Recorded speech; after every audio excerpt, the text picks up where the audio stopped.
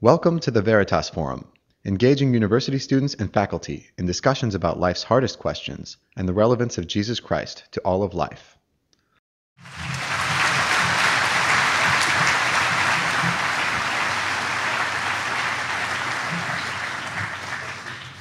Thank you very much, and good evening. I'm sure that I can speak for both Professor Ludemann and myself when I say uh, how delighted we are that so many of you have come out this evening to join with us in discussing the historicity of the resurrection of Jesus. But a warning is in order. To many of you who have never studied the New Testament, the discussion this evening may at times be technical and difficult. For Professor Ludemann and I are going to be approaching the New Testament not as an inspired holy book, but rather as what it originally was, namely a collection of ancient documents. What you're going to hear tonight is a debate between two historians concerning the reliability of a collection of ancient texts concerning one particular event, the resurrection of Jesus. If the discussion threatens to get too technical, then I may simply refer you to the further discussion in our book. But we'll also be talking about philosophy of history because Professor Ludemann and I differ profoundly on what kinds of historical hypotheses are permissible as live options. And this is critical for a discussion of Jesus' resurrection. Now, in order to focus our discussion this evening, I propose to defend two basic contentions in tonight's debate. Number one, that any adequate historical hypothesis concerning Jesus' fate must explain four facts accepted by the majority of New Testament scholars, namely Jesus' burial, the discovery of his empty tomb, his post mortem appearances, and the origin of his disciples' belief in his resurrection. And number two, the best explanation of these facts is the hypothesis that God raised Jesus from the dead. So let's look at that first contention together. I want to share with you four facts which are widely accepted by New Testament scholars today. Fact number one after his crucifixion, Jesus was buried by Joseph of Arimathea in a tomb. This fact is highly significant because it means that the location of Jesus' tomb was known in Jerusalem. In that case, the disciples could never have proclaimed his resurrection in the face of an occupied tomb. New Testament historians have established this first fact on the basis of the following evidence. Number one, Jesus' burial is attested in the very old information handed on by Paul in his first letter to the Corinthians. Number two, the burial is part of very old source material used by Mark in writing his gospel. Three, as a member of the Jewish court, the Sanhedrin, that condemned Jesus, Joseph of Arimathea is unlikely to be a Christian invention. Four, Mark's burial account is simple and lacks traces of legendary development. And five, no other competing burial story exists. For these and other reasons, the majority of New Testament critics concur that Jesus was buried by Joseph of Arimathea in a tomb. And in our last debate, Dr. Ludemann stated that he and I are largely in agreement about this first fact. Now, this isn't surprising since, uh, in the words of the late John A.T. Robinson of Cambridge University, the burial of Jesus in the tomb is, quote, one of the earliest and best attested facts about Jesus, end quote. Fact number two on the Sunday following the crucifixion, Jesus' tomb was found empty by a group of his women followers. Among the reasons which have led most scholars to this conclusion are the following. Number one, the empty tomb story is also part of that very old source material used by Mark. Two, the old information transmitted by Paul in 1 Corinthians implies the fact of the empty tomb. Three, Mark's account of the discovery of the empty tomb is simple and lacks signs of legendary embellishment. Four, the fact that women's testimony was worthless in first century Palestine counts in favor of the women's role in discovering the empty tomb. For any later legendary account would almost certainly have made male disciples to have discovered the empty tomb. And number five, the earliest Jewish allegation that the disciples had stolen Jesus' body itself shows that the body was, in fact, missing from the tomb.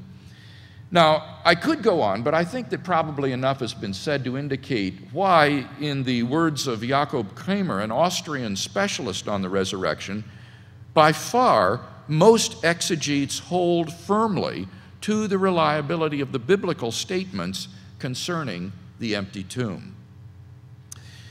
Dr. Ludemann, however, denies the fact of the empty tomb. Why?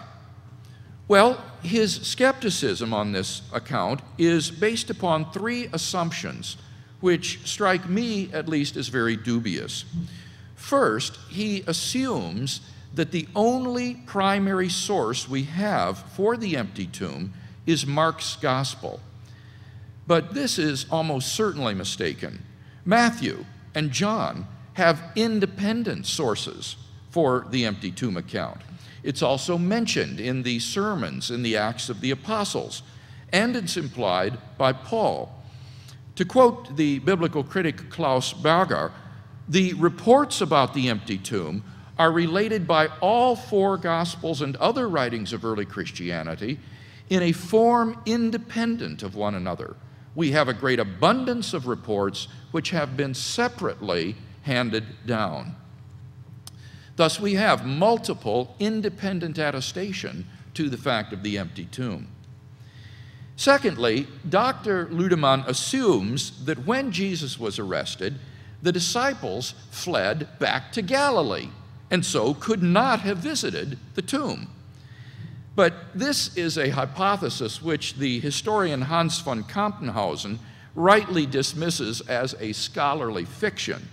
Not only is there absolutely no evidence for this assumption, but it's inherently implausible. I mean, can you imagine the disciples fleeing from the Garden of Gethsemane, grabbing their things, and not stopping until they got all the way back to Galilee? It's just inherently implausible.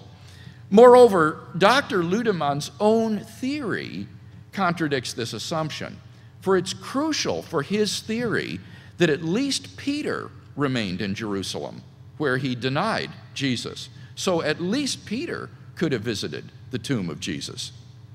Finally, third, Dr. Ludemann assumes that the Jewish authorities suffered a sort of uh, collective amnesia about what they did with the body of Jesus. Even if Joseph or the Jews only gave Jesus a dishonorable burial, why didn't they point to his burial place as the quickest and easiest answer to the disciples' proclamation that Jesus was risen from the dead? Dr. Ludemann admits, and I quote, Jews showed an interest in where Jesus' corpse had been put, and of course, a proclamation of Jesus as the risen one provoked questions about his body from opponents or unbelievers. End quote. So, why when the disciples began to proclaim the resurrection of Jesus, didn't the Jewish authorities say where they had put Jesus' body? Dr. Ludemann's answer they forgot.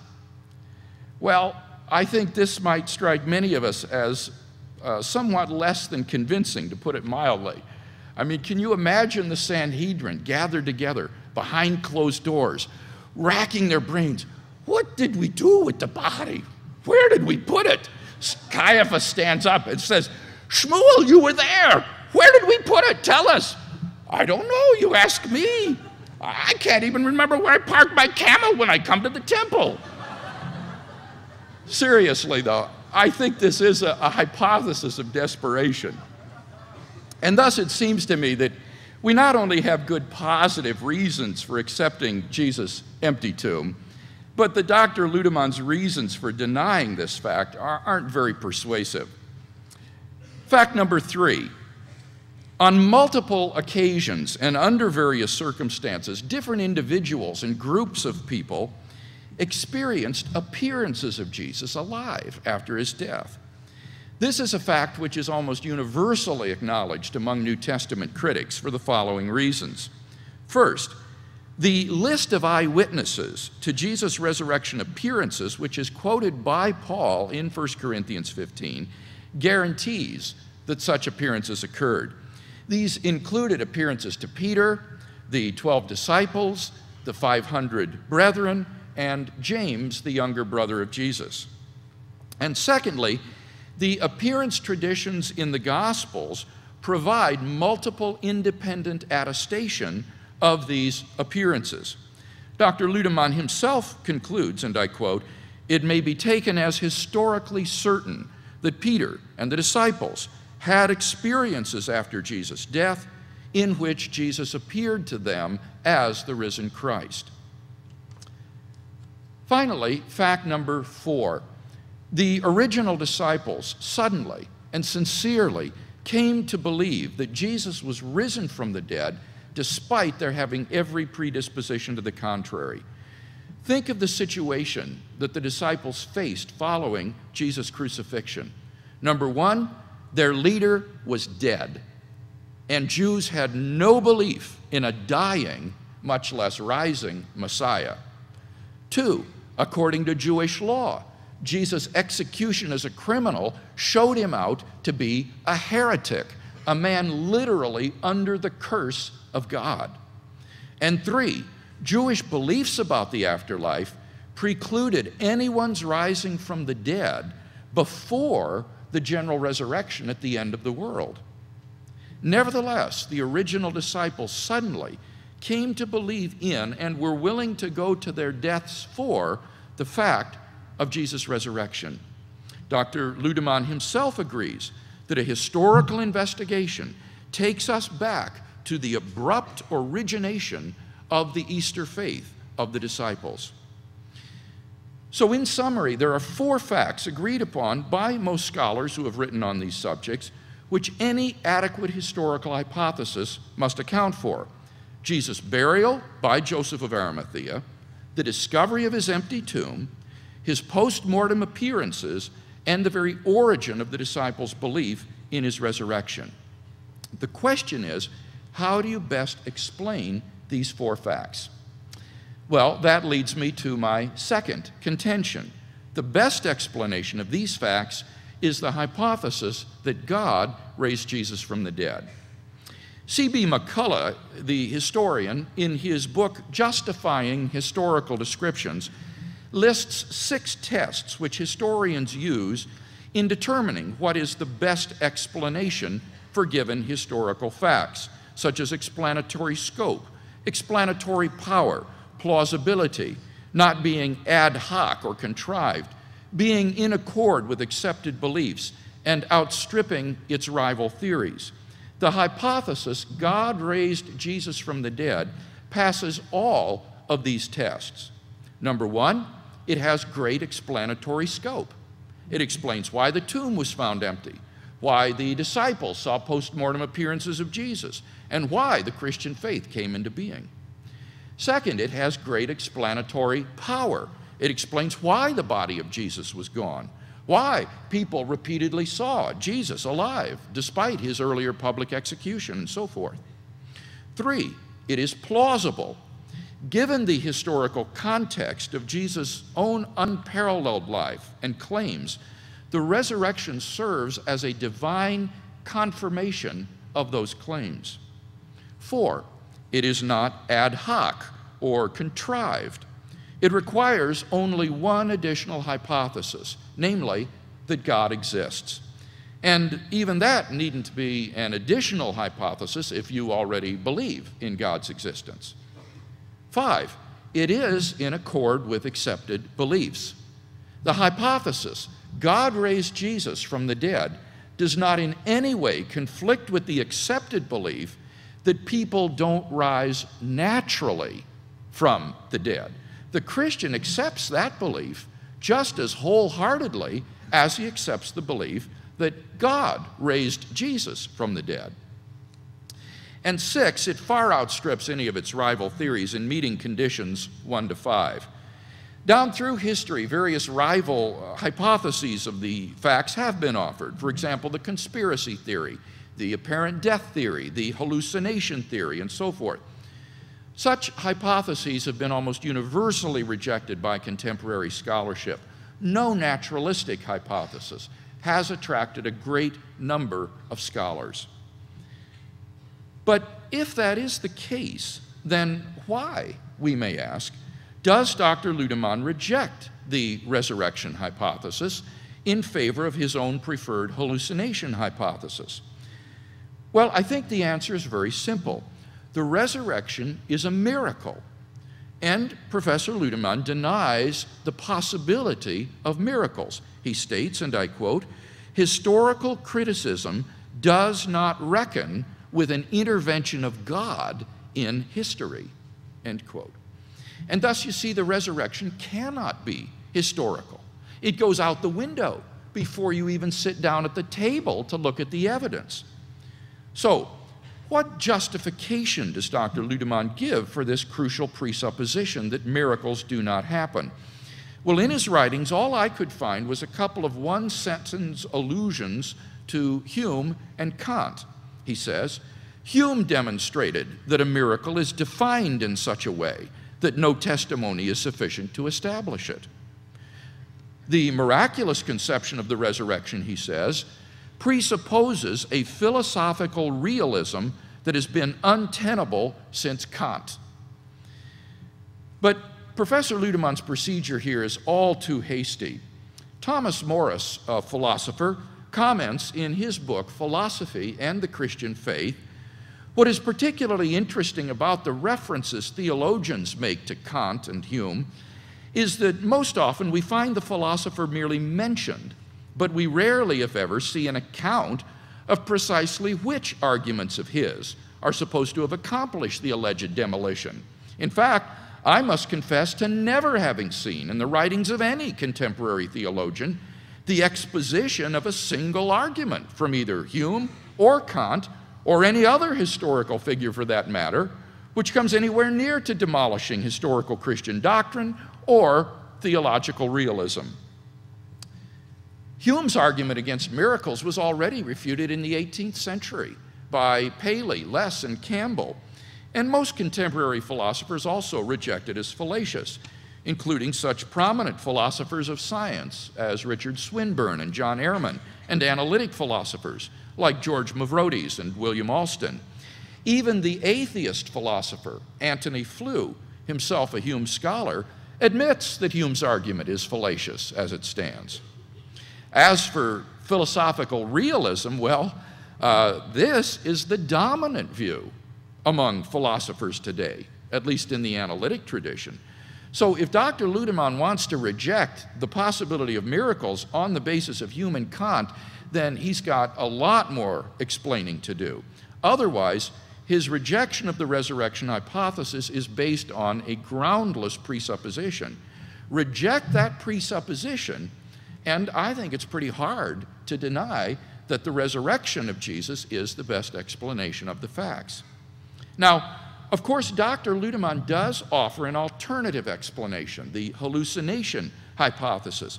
He develops an elaborate theory based upon the depth psychology of Carl Jung concerning archetypes in the collective un- unconscious, which he believed Peter and Paul to have projected as external visions or hallucinations. And he thinks that these were brought on by guilt complexes that Peter and Paul suffered under independently. Um, now, in our book, I try to show that this hypothesis, though ingenious, does not, in fact, pass those six tests for being the best explanation. But for now, we can note that if Dr. Ludemann's only reason for preferring it to the resurrection hypothesis is that the resurrection is a miracle, then this amounts to nothing more than a philosophical prejudice against miracles. So, in conclusion, then, we've seen first that there are four established facts to be explained Jesus' burial, his empty tomb, his post mortem appearances, and the origin of the disciples' belief in his resurrection. And second, that the resurrection hypothesis meets the tests for being the best explanation of these facts. The question then which remains is whether Dr. Ludemann can offer us an hypothesis which better meets those same criteria.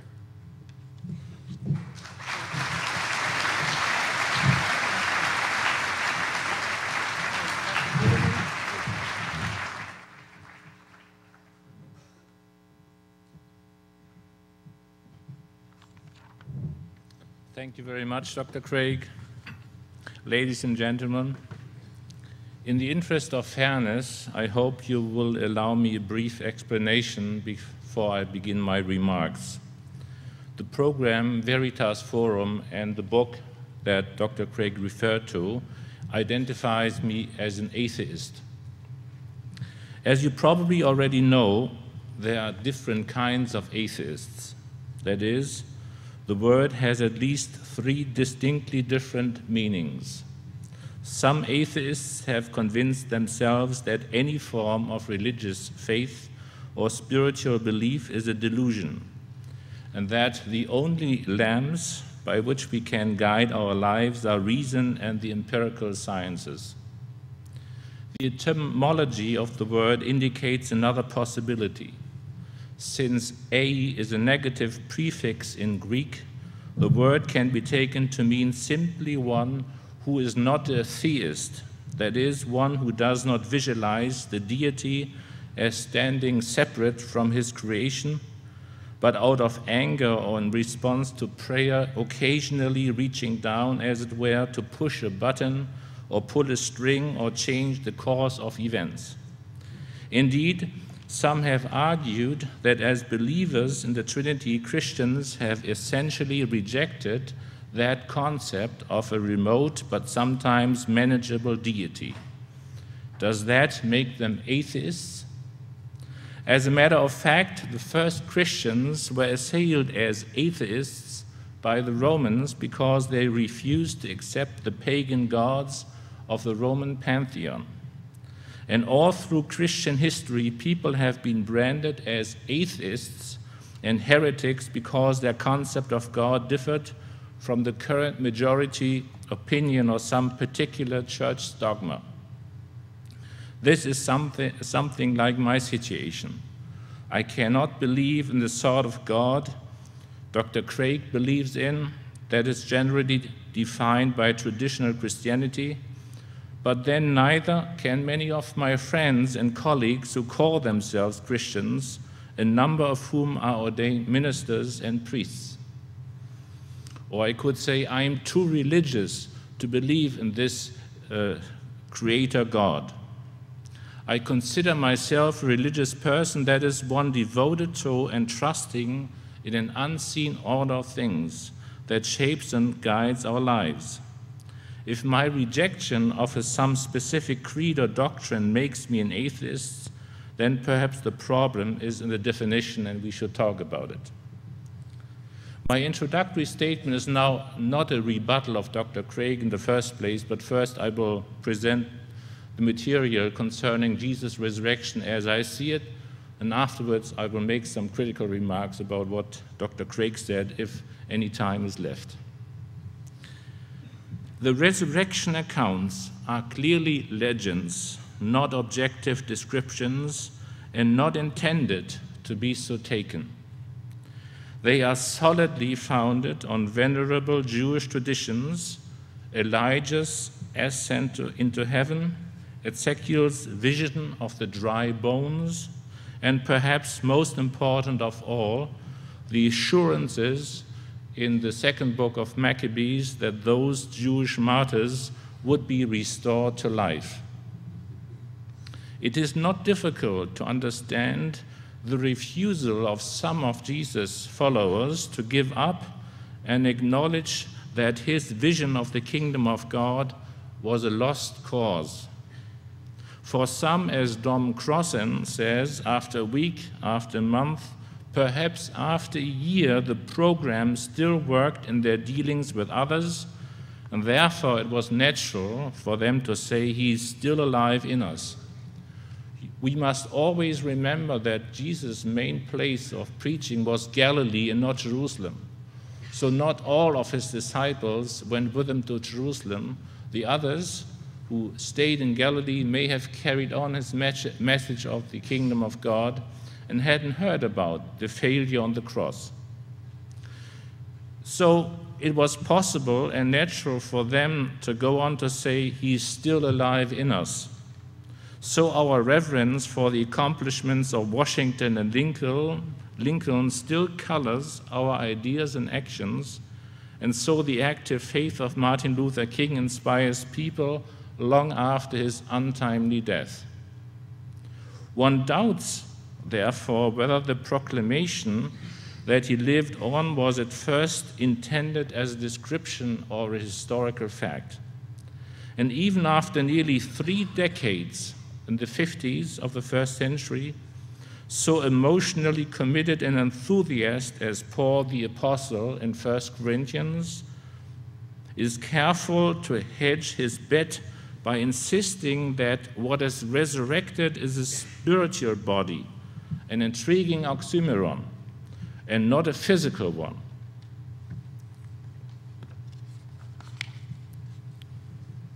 Easter and the New Testament faith arose from visions of Jesus' exaltation. The concept of the exaltation, not the resurrection yet, to the right hand of God was prior to the idea of resurrection and establishing belief in Jesus' lordship and messiahship while resurrection from the dead as such does not. A very early witness of the exaltation of Jesus is preserved in Paul's letter to the Philippians, chapter 2, where Paul quotes a hymn that was transmitted to him. And let me read it to you Christ Jesus, being in the form of God, did not consider it a robbery to be equal with God but emptied himself, taking the form of a servant, and coming in the likeness of man. And being found in the appearance of a man, he humbled himself and became obedient to the point of death, even the death on the cross. Therefore, God also has exalted him and given him a name which is above any name, every name that in the name of Jesus every knee should bow of those in heaven, of those on earth, and those under the earth. And every tongue should confess that Jesus Christ is Lord to the glory of God the Father. And some 10 or dozen years later, Mark would not push the argument beyond an empty tomb and an angel maybe himself. While this may suggest a slight increase in objectivity over a non physical body, it is striking that 40 years after the crucifixion, there's still no official claim of a resuscitated corpse.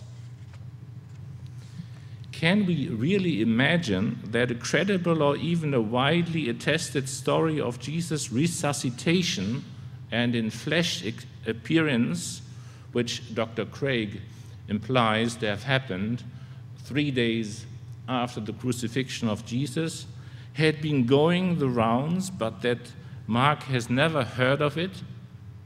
If he had heard such a story, can we imagine him dispassionate or skeptical enough to leave it out? One thinks of the clearly legendary nature of the birth stories by 70 CE, they hadn't yet arisen either, and Mark was either too honest or too unimaginative to invent one, to be sure. He had other reasons for not making a big issue of Jesus' Jewishness, but how could he have resisted those magi or that flock of singing angels? How better prove a central claim of divine, divine sonship? Once a legend gets started, however, it is not difficult to add to it or to create acceptable elaborations. Note how the Magi became kings, and in time they were assigned names and even racial designations. See how a medieval saint came to own a reindeer with an illuminated nose. The evidence is overwhelming that Matthew and Luke's resurrection stories are legends.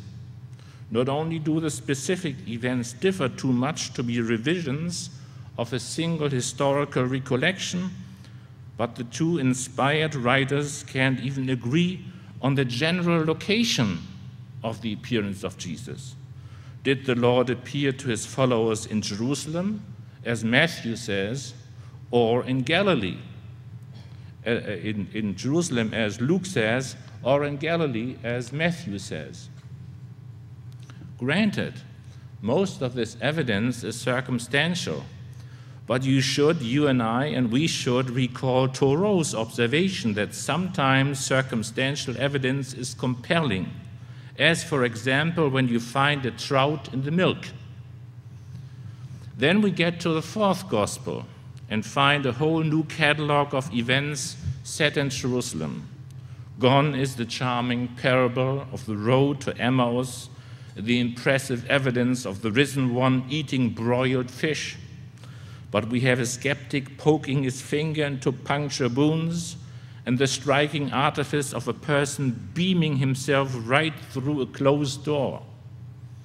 And to cap the climax, for the benefit of those who have trouble recognizing a trout when they see one, someone was good enough to append to the text another resurrection account. Perhaps this writer was a literalist who assumed that since both Matthew and Luke were inspired and therefore reliable witnesses, he'd better come up with a Galilee appearance so as not to appear retrograde in, his, in either knowledge or faith. The idea of reunion fish fry in John 21 is cute enough, but when we try to make sense of Peter's leaping out of the boat and then back into it in order to pull single handed an overburdened net to shore, we know we are dealing not with history remembered, but with the polemic historicized.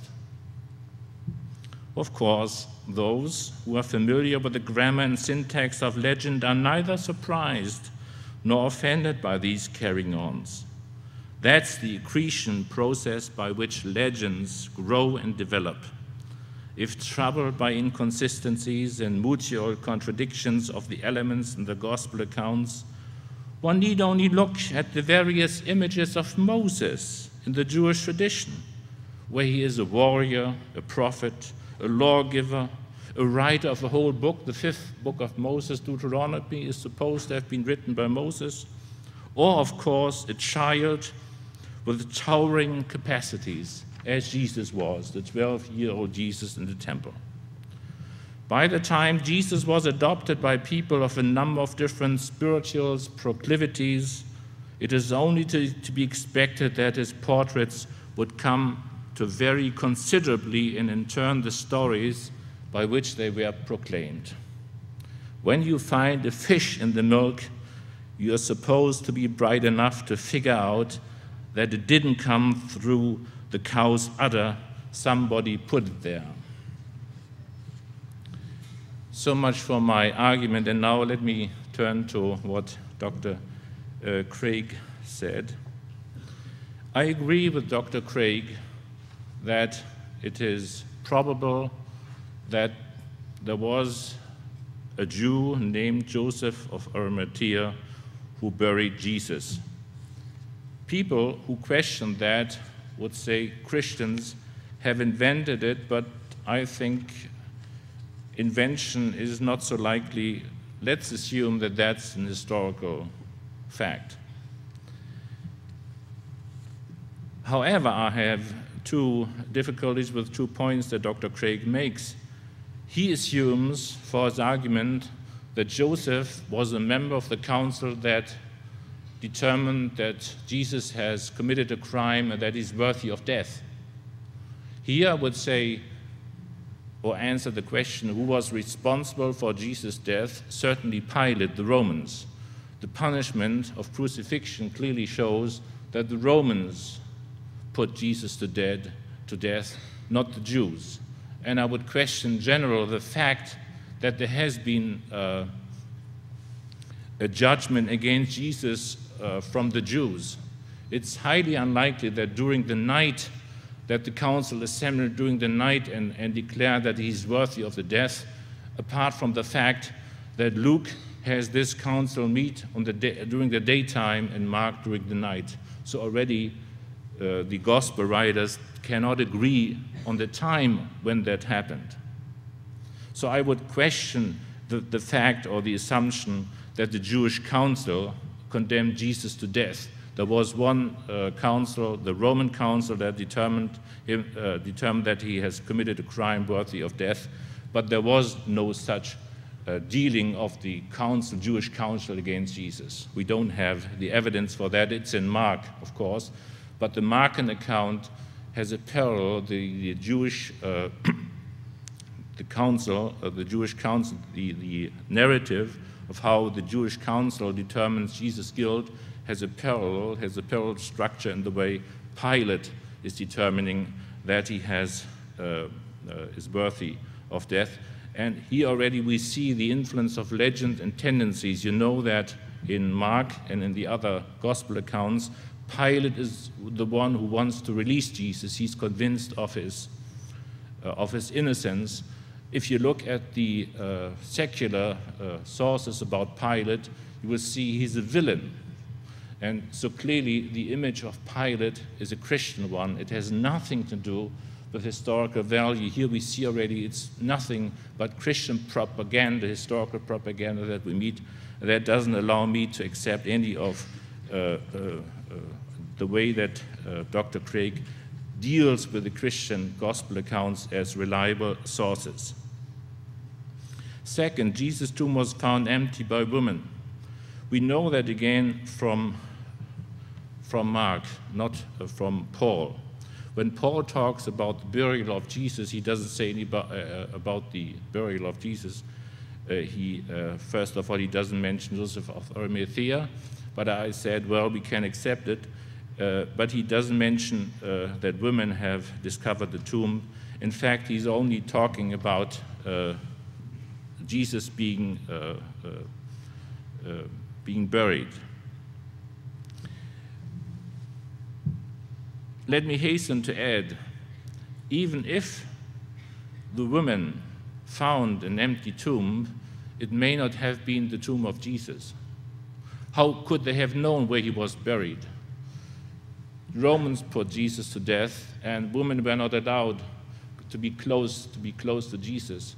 The gospel writers, Mark, the oldest gospel, said they saw it from afar. But that may be Christian propaganda. I mean, it was getting dark. How could they have known where he was buried? So that I would question that already. And the, and the tendencies of the accounts is to bring the women closer to the tomb. In, in John, for example, you will have uh, Mary, the mother of Jesus, and the disciple whom Jesus uh, loved under the, under the cross. So I would like to, uh, to discuss that in more detail. I would say if they found an empty tomb, how do we know that that was Jesus' tomb? There's another possibility that Joseph of Arimathea, who took care of, the, of Jesus' corpse, took him out of there and placed him in another tomb he may have done it because it was the law to, to, to, to bury somebody before uh, the Sabbath. But how could we exclude the possibility that he took him out afterwards and that the woman may have uh, seen a wrong tomb? Uh, so I would say the empty tomb found by women doesn't say anything about the resurrection of Jesus. Nothing. Very many possibilities have to be discussed. As far as the flight is concerned, uh, I would say, Dr. Craig, come on, I'm saying they, they fled, and you are telling me that there was still the denial after that. But the denial uh, happened uh, 30 minutes after that. We're still on the same day. When I'm talking about the flight, I'm talking about an action that took place gradually. It, nothing is more likely that the disciples, after the master has been killed, would be going back to the place where they are coming from, where they had left families. They were uh, married. we agree on the visions. The question is now um, what's the origin of the visions? And let me just briefly make a comment on the explanation God raised Jesus from the dead. I'm uh, unwilling to introduce any metaphysical things into an historical argument. The God, when I'm talking about God, the recent uh, happenings, um, uh, what happened the last uh, months, doesn't allow me to, to accept God. Uh, uh, it, it, the theodicy issue becomes a problem. If God doesn't intervene, where was he during the Holocaust? Why does he play favorites, intervening on behalf of some but not on others? Where, where was he on September 11th? And of course, his ethnic cleansing reported in the Old Testament against the Canaanites makes the great intervener appear a very fickle fellow indeed. So let's not, uh, let's uh, keep God out of this question. Thank you. Thank you, Dr.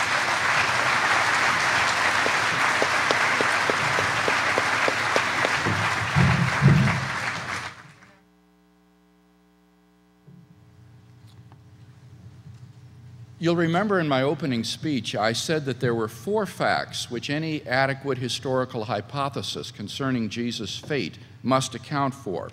First, the burial of Jesus by Joseph of Arimathea. And here, Dr. Ludemann and I basically agree on the historicity of the burial account. Whether it was Rome or the Sanhedrin who were responsible for the condemnation is a side issue. The most important thing is that the burial account is fundamentally accurate. And that means, as I said, that the site of the tomb was known in Jerusalem to Jew and Christian alike. Secondly, I argued that the empty tomb is historical, and I gave five lines of evidence in favor of the empty tomb. Dr. Ludemann only responded to one of these, which was the role of the women in discovering in the empty tomb. Notice he did not deny the historicity of the women's visit to the empty tomb. But he simply tried to explain it away by saying it may not have been Jesus' tomb. Well, I was surprised to hear this. This is the old wrong tomb theory uh, from Kirsopp Lake, which was discredited 100 years ago. The fundamental weakness in the wrong tomb theory was that even if you say the women made this mistake, the Jewish authorities could not have been guilty of any such oversight when the disciples began to preach the resurrection in Jerusalem. They would have been only too happy to point out where the body of Jesus was in fact interred, thus humiliating not only the women, but the Christian disciples who were proclaiming his resurrection. So I find that to be a completely implausible hypothesis, and uh, it's been unanimously rejected by contemporary scholarship. Um, he then raises one objection to the empty tomb that is new. He says, well, Paul omits any mention of the empty tomb in his letters. Well, this is basically an argument from silence, and therefore I think we should always be careful about appealing to arguments from silence. It doesn't prove that Paul didn't know the fact of the empty tomb. In fact, I think when you look at 1 Corinthians 15, there's a very good reason for Paul not to mention the empty tomb. Namely, the Corinthians, as uh, Greek uh, thinkers, recoiled at the idea of the resurrection of the physical body. And therefore, what Paul wants to do is to convince them that the resurrection body is in some sense spiritual. It's a, a spiritual, supernatural body. So he doesn't want to argue for its physicality in 1 Corinthians 15, but for its spirituality. And therefore, appeal to the empty tomb would be completely beside the point. There's no reason to mention it. Moreover, I think the empty tomb is implied in the formula Paul quotes. How? Well, when Paul says he was buried, and he was raised. That implies an empty grave. E. E. Ellis, a New Testament scholar, says it's very unlikely that the earliest Palestinian Christians could conceive of any difference between resurrection and physical grave emptying resurrection. To them, a resurrection without an empty grave would have been about as meaningless as a square circle. So, in saying he was buried and he was raised, Paul implies an empty tomb was left behind. Secondly, when he says that he was raised on the third day, that expression is most likely a time indicator for the date of the women's visit to the tomb because it came by Jewish reckoning on the third day after the crucifixion, and is thus an oblique reference to the empty tomb. And it's very interesting when you compare that four line formula in 1 Corinthians 15 to the Gospels on the one hand and the sermons in the book of Acts on the other hand, what corresponds to the expression, he was raised, is, lo and behold, the empty tomb story. So I don't think this argument from silence is compelling. We agree, uh, thirdly, on the resurrection appearances. Dr. Ludemann says that these are legendary in many respects, but nothing in my case depends upon taking these accounts to be uh, completely historically trustworthy. I'm simply arguing for the fundamental historical credibility of the fact that the disciples did have these experiences of Jesus' appearances after his death, and on that we agree. Fourth, I said the origin of the disciples' belief in Jesus' resurrection uh, is something that needs to be explained. And here, Dr. Ludemann agreed that they came to believe in the resurrection, but he said this is perfectly natural to say that Jesus is still alive. But that's not what they said. They said he was risen from the dead, and that is the most unnatural thing for a Jewish believer to say because it contradicts fundamental Jewish beliefs. There can be no resurrection prior to the end of the world in Judaism.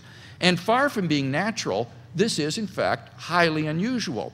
N.T. Wright, a New Testament uh, critic from Britain, points out all of the followers of those first century messianic movements were fanatically committed to the cause. They, if anybody, might be expected to suffer from this blessed 20th century disease called cognitive dissonance when their expectations failed to materialize. But in no case, right across the century before Jesus and the century after him, do we hear of any Jewish group saying that their executed leader had been raised from the dead and that he was really the Messiah after all. This was utterly un Jewish. And the resurrection is something that uh, cries out for explanation. You can't say they were simply saying he was still alive. Dr. Ludemann says, well, the belief in Jesus' exaltation was prior to belief in his resurrection. I don't think so at all. Remember, we saw in 1 Corinthians 15 and we saw in Mark's source extremely early evidence for the historicity of the empty tomb, which shows that belief in Jesus' resurrection was just as early as belief in his exaltation. So these are the facts. The question is, how do you best explain them? I think the resurrection hypothesis explains all of these facts well. By contrast, I don't think Dr. Ludemann's hallucination hypothesis is a good explanation. And I'd like to now briefly look at that account by using those same six criteria suggested by C.B. McCullagh. First, explanatory scope. I think this is the real Achilles heel of the hallucination hypothesis. It tries to explain the appearances, but it says absolutely nothing about the empty tomb. And therefore, in order to explain that, you need to conjoin an independent hypothesis to the hallucination hypothesis. It thus has an explanatory scope which is too narrow to be the best explanation. Second, what about explanatory power? Does it even explain the appearances well? Let's imagine that Peter did have a guilt complex, and he was one of those rare persons who see a vision of a deceased loved one. Does that hypothesis explain the resurrection appearances and the origin of the disciples' belief in the resurrection? Well, I don't think so for two reasons. First of all, the diversity of the appearances can't be explained in this way. Jesus didn't appear just one time to Peter, but to many different individuals and persons, not just on one occasions, but on different occasions not just to individuals, but to groups of people, not just at one locale and circumstance, but at various locales and circumstances, not just to believers, but even to unbelievers and enemies, like James, for example. How do you account for James' vision of Jesus when he wasn't even a believer in Jesus? Or the 500 brethren? Or the women who saw Jesus prior to his appearance to Peter? and therefore cannot be explained away as a result of contagion based on Peter's experience. So the diversity of the appearances can't be plausibly explained by hallucinations. Secondly, hallucinations fail to explain why the disciples came to believe in Jesus' resurrection. You see, as projections of the mind, hallucinations don't contain anything not already in the mind. And given their typical Jewish frame of thought, if the disciples were to hallucinate Jesus, they would project visions of him in Abraham's bosom in glory. And that would at most have led to belief in the glorification or assumption of Jesus into heaven, not his literal resurrection from the dead, which is, as I explained, a belief that goes right back to the earliest uh, times of the Jesus movement. So, in terms of both, its inability to explain the diversity of the appearances and the origin of the disciples' faith, I think that the uh, hallucination hypothesis has weak explanatory power. What about plausibility? Let me mention two reasons why I think the theory has little plausibility. First, its psychoanalysis of Peter and Paul, I think, has little plausibility. Dr. Ludemann's use of depth psychology depends upon certain theories of Carl Jung, and these are highly disputed. So his theory cannot have any more plausibility than these theories themselves, which are already very implausible and controverted.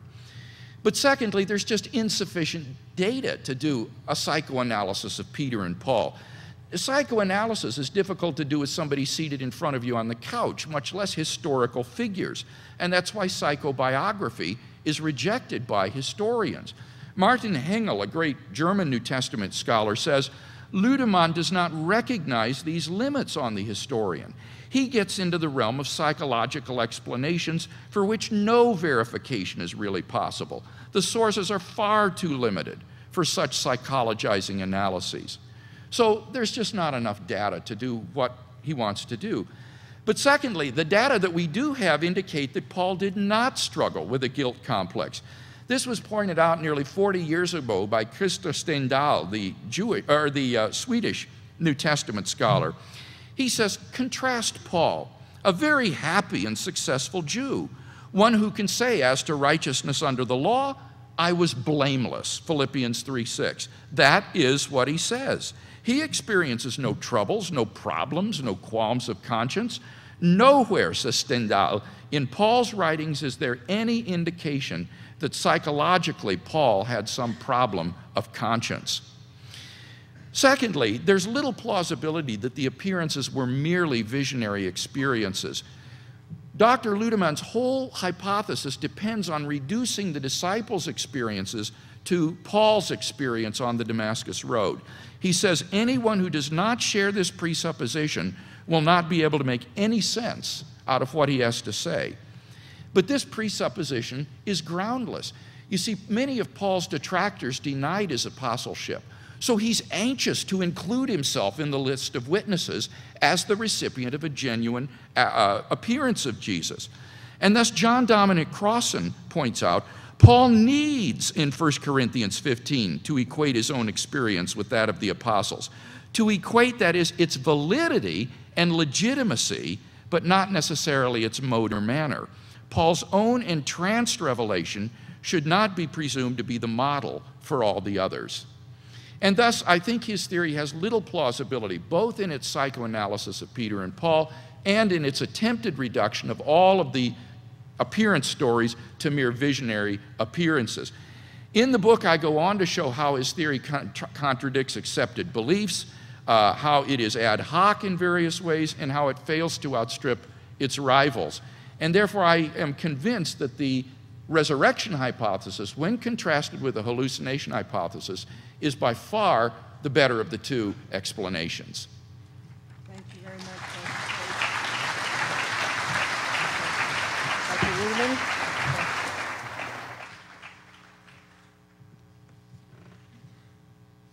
Dr. Craig's first point was that we agree that most likely Joseph of Arimathea buried Jesus. We do agree, in fact, but I think that Dr. Craig makes too much out of it. He already, I'm glad that he admitted that this has nothing to do with the Jewish council determining the guilt of Jesus. So I'm very glad that he admits uh, that.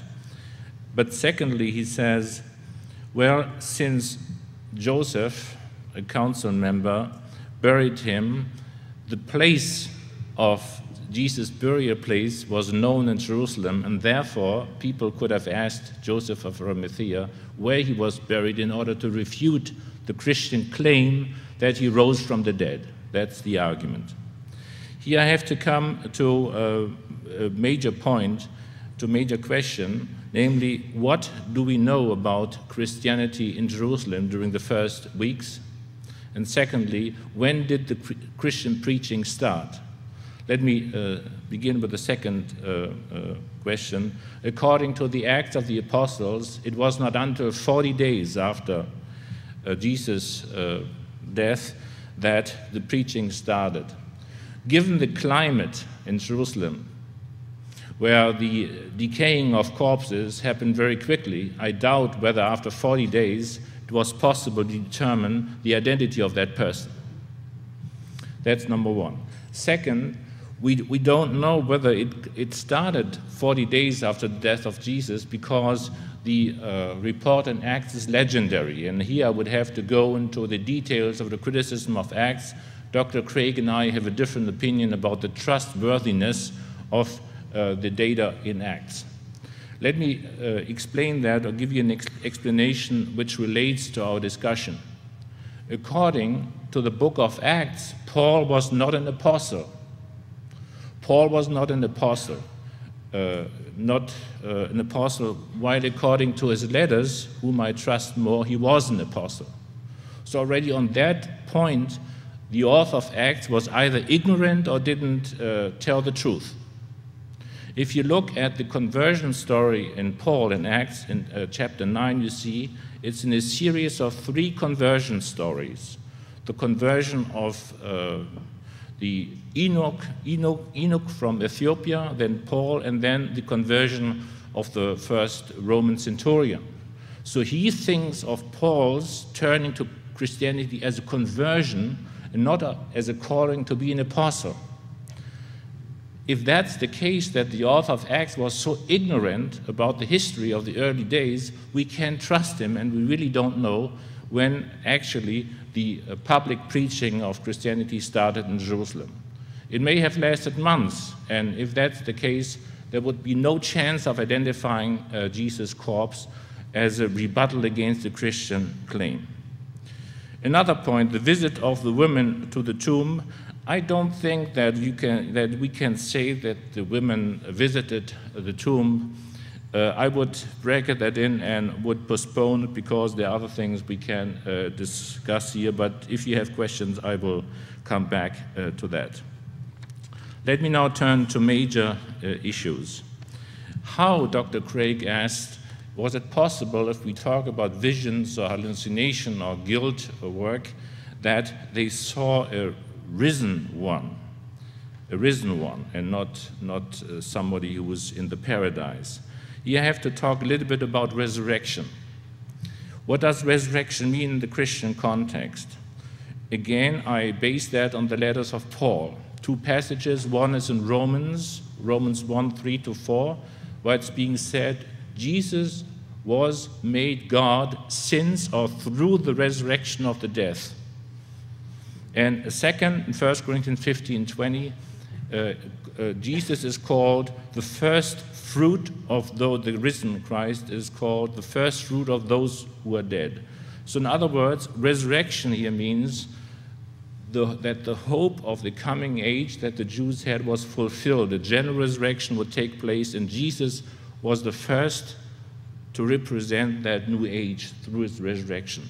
That's the context of uh, uh, uh, the talk about Jesus' resurrection. And that's also must have been the context that Jesus talked to his disciples about the future. My claim is Jesus must have talked in some ways about the resurrection of the dead to his disciples so that the disciples were able to connect when he was dead. Uh, that was the hope that his, uh, uh, his fate and his being seen has to do with the resurrection, uh, the general resurrection, which is going to happen in the very near future.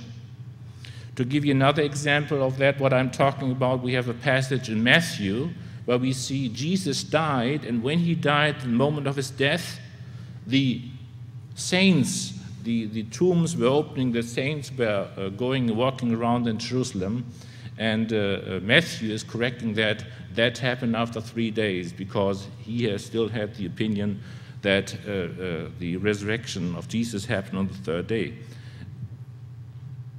But originally, in that text that Matthew is quoting, the idea was that Jesus, when he died, was immediately exalted to heaven, and that uh, uh, then led to the fulfillment of the hope of a general resurrection that all the Christians, all the saints would be walking, would be coming out of their tombs. And here we already see that it was not uh, universally held in Christianity that resurrection happened on the third day. Uh, as I said already earlier, exaltation means exaltation, the moment of death. And here in Matthew 27, we see the general resurrection is happening at the moment of death of Jesus. And we, here we see already that exaltation and resurrection are closely related and almost um, identical. So that's the context uh, of uh, resurrection that we, that we talk about here. And I would ask you and Dr. Craig, when he says resurrection on the third day and visit of the woman to the tomb on the third day, what should we make out of that? Was Jesus actually raised on the third day? Only on the third day, and then the woman could come and find his body empty. So, how, how should we account here? Raised on the morning of the third day, and the woman coming afterwards? And I would uh, add the question uh, should we now really uh, uh, explain that by assuming a miracle? Remember, if Jesus was there two days and such a climb was dead, he, his body was already decomposing, he was cold, all interruption, his brain was dead. Uh, sh should we really think that such a thing can happen? Are there future doctors among you? Should we really assume, as modern men or men and women, that something like that could be possible? Still, you could say a miracle, a miracle, but it would be a very rare, or I would say almost unlikely thing that that should have happened. Whenever I talk to doctors about that, they, they inform me that can never happen. But Dr. Craig, obviously, because he's tracing that back to God, thinks it can happen. Okay?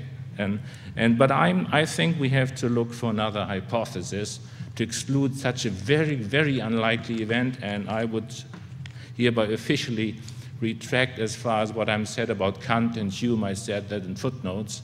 I'm a working historian, I'm not a philosopher as Dr. Craig is. Let's not talk about Kant and Hume.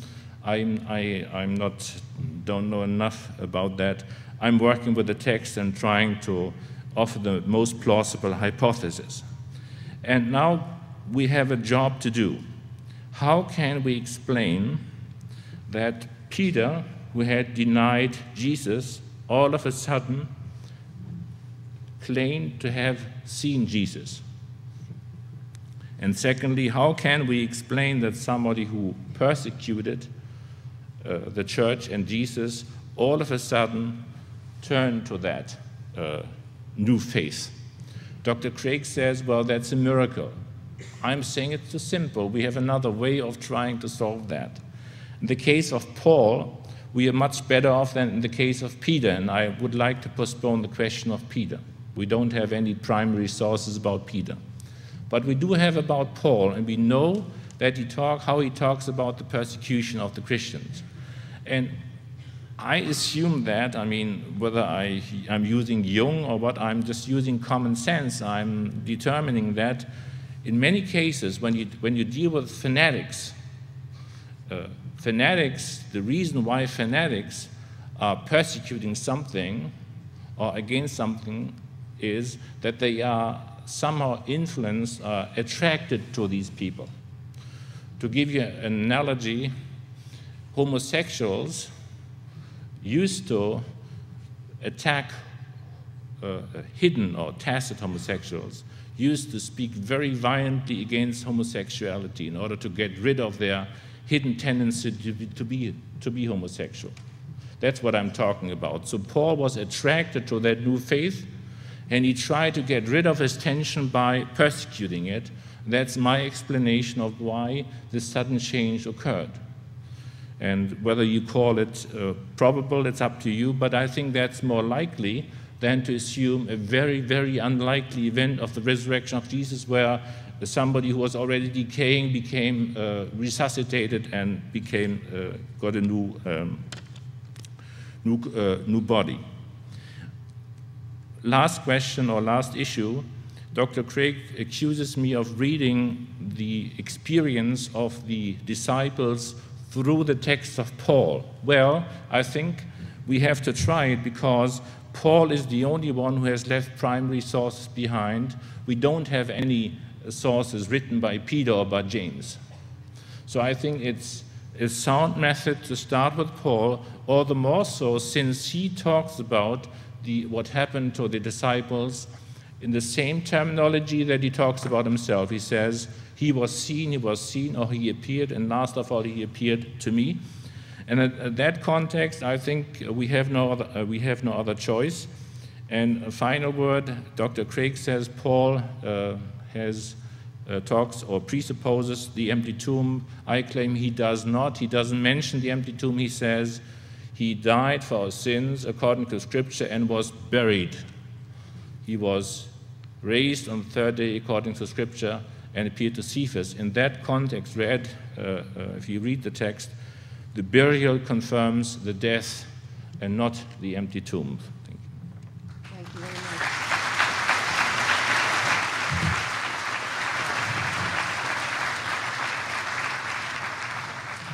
We'll be hearing again from Dr. Craig.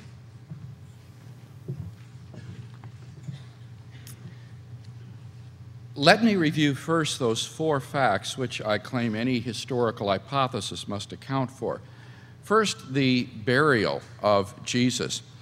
Here we do basically agree on the historicity of the burial account of Jesus by Joseph of Arimathea. The question is the significance of this. Dr. Ludemann says that if the Christians did not begin to preach in Jerusalem until 40 days had elapsed, there might have been considerable decay of the body so that it wouldn't have been easily identifiable. And moreover, the book of Acts is legendary anyway, and it might have been uh, even uh, later than that, uh, and therefore they couldn't identify the body. I think this argument is unpersuasive, however, because if the tomb were occupied by a rotted or decayed corpse, no matter how degraded, any corpse in that tomb would have shown that, in fact, the resurrection had not occurred. As long as the site of the tomb were known and it was occupied by a corpse, the burden of proof would be on the disciples to show that it wasn't Jesus. The presumption would lie with the Jewish authorities that it was Jesus. So the actual degradation of the corpse would do nothing to support uh, the disciples. It would, on the contrary, put a real burden on them to explain how they could believe in the resurrection in the face of an occupied tomb containing the decayed remains of presumably Jesus of Nazareth. Moreover, I would suggest that the book of Acts is not legendary in what it says uh, with regard to the preaching of the disciples in Jerusalem. I can simply refer you here to a fine book by a classical historian, Colin Hemer, called The Book of Acts in the Setting of Hellenistic History. Hemer combs through the book of Acts to find a wealth of historical detail, right down to details so peculiar and particular that only an eyewitness on the scene would have been able to be aware of them. So I don't think that we have any reason to doubt the substantial historicity of Acts in this regard. But in any case, the presence of an occupied tomb in Jerusalem would have effectively silenced any budding Christian movement founded on belief in the resurrection of Jesus. What about then the second point, the historicity of the empty tomb? Again, as far as I can see, all five lines of evidence that I've given have remained unrefuted in tonight's debate. It's in Mark's early source material, it's implied in 1 Corinthians 15 in two ways. Mark's account is simple and lacks signs of legendary embellishment. We've agreed that the women's role shows that they were probably involved in finding the tomb empty. And remember, the earliest Jewish polemic that the disciples stole the body itself shows that the tomb was empty. So I don't think we've got any good reason to doubt the historicity of the empty tomb tonight. What about the third point, the resurrection appearances? Again, I see no refutation of the fundamental point here that the disciples, after the uh, crucifixion of Jesus, did experience these appearances of him alive. The question will be how do you best explain these? As hallucinations or that Jesus really did rise from the dead? And finally, number four, the origin of the disciples' belief. Here, if I understand him correctly, Dr. Ludemann seems to be propounding the extraordinary hypothesis that Jesus prepared his disciples for belief in his resurrection. Now, I find that astonishing because even his own theory and the bulk of the evidence is that the disciples were utterly unprepared for the catastrophe of the crucifixion.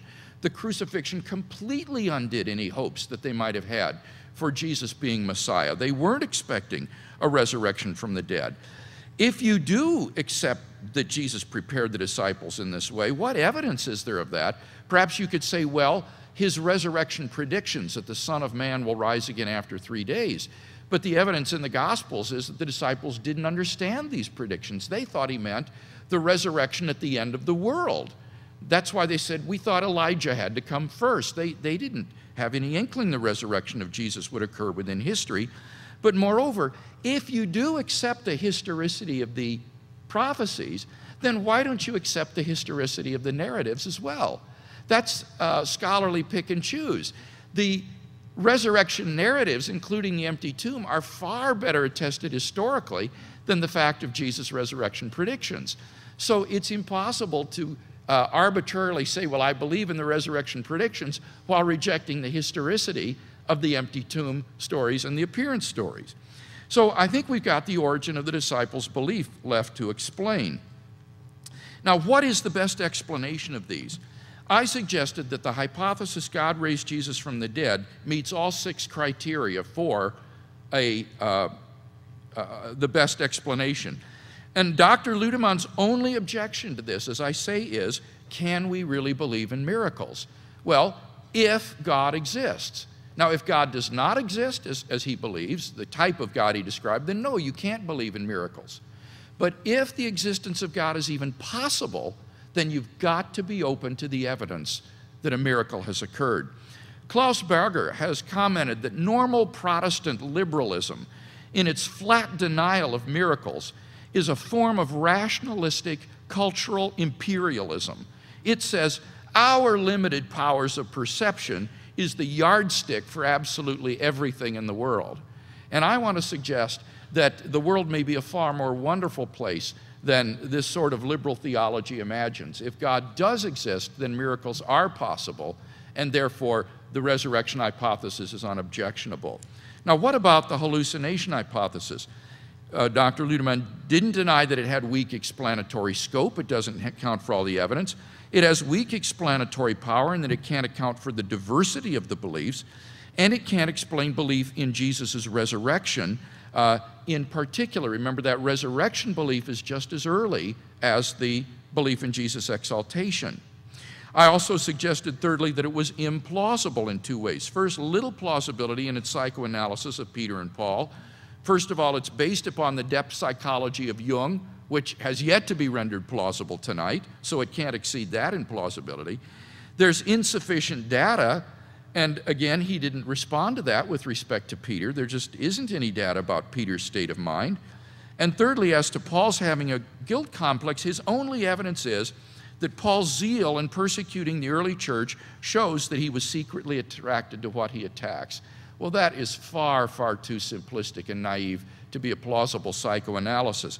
There's no evidence that Paul's zeal did not spring out of a genuine zeal for the traditions of his Jewish belief, just as the Nazi Gestapo persecutors weren't secretly attracted to Judaism in their zealous persecution of the Jews in National Socialist Germany. That's far too naive to say that anybody that's zealous really has a guilt complex and is secretly attracted to what he persecutes. There's also little plausibility that the appearances were mere visions as well. Remember, Paul, if anything in 1 Corinthians, is engaging in special pleading to put himself in the list with the apostles. There's no reason to reduce their experiences to his. So, in all of these ways, I think when you look at those six criteria for weighing the best explanation, the only thing against the resurrection hypothesis is that it's admittedly miraculous. But the uh, hallucination hypothesis has weak explanatory scope, weak explanatory power. It's implausible, it contradicts accepted beliefs, and in multiple ways, I think, fails as the best explanation. And therefore, it follows, I think, that the evidence supports that God raised Jesus from the dead. Okay, Mr.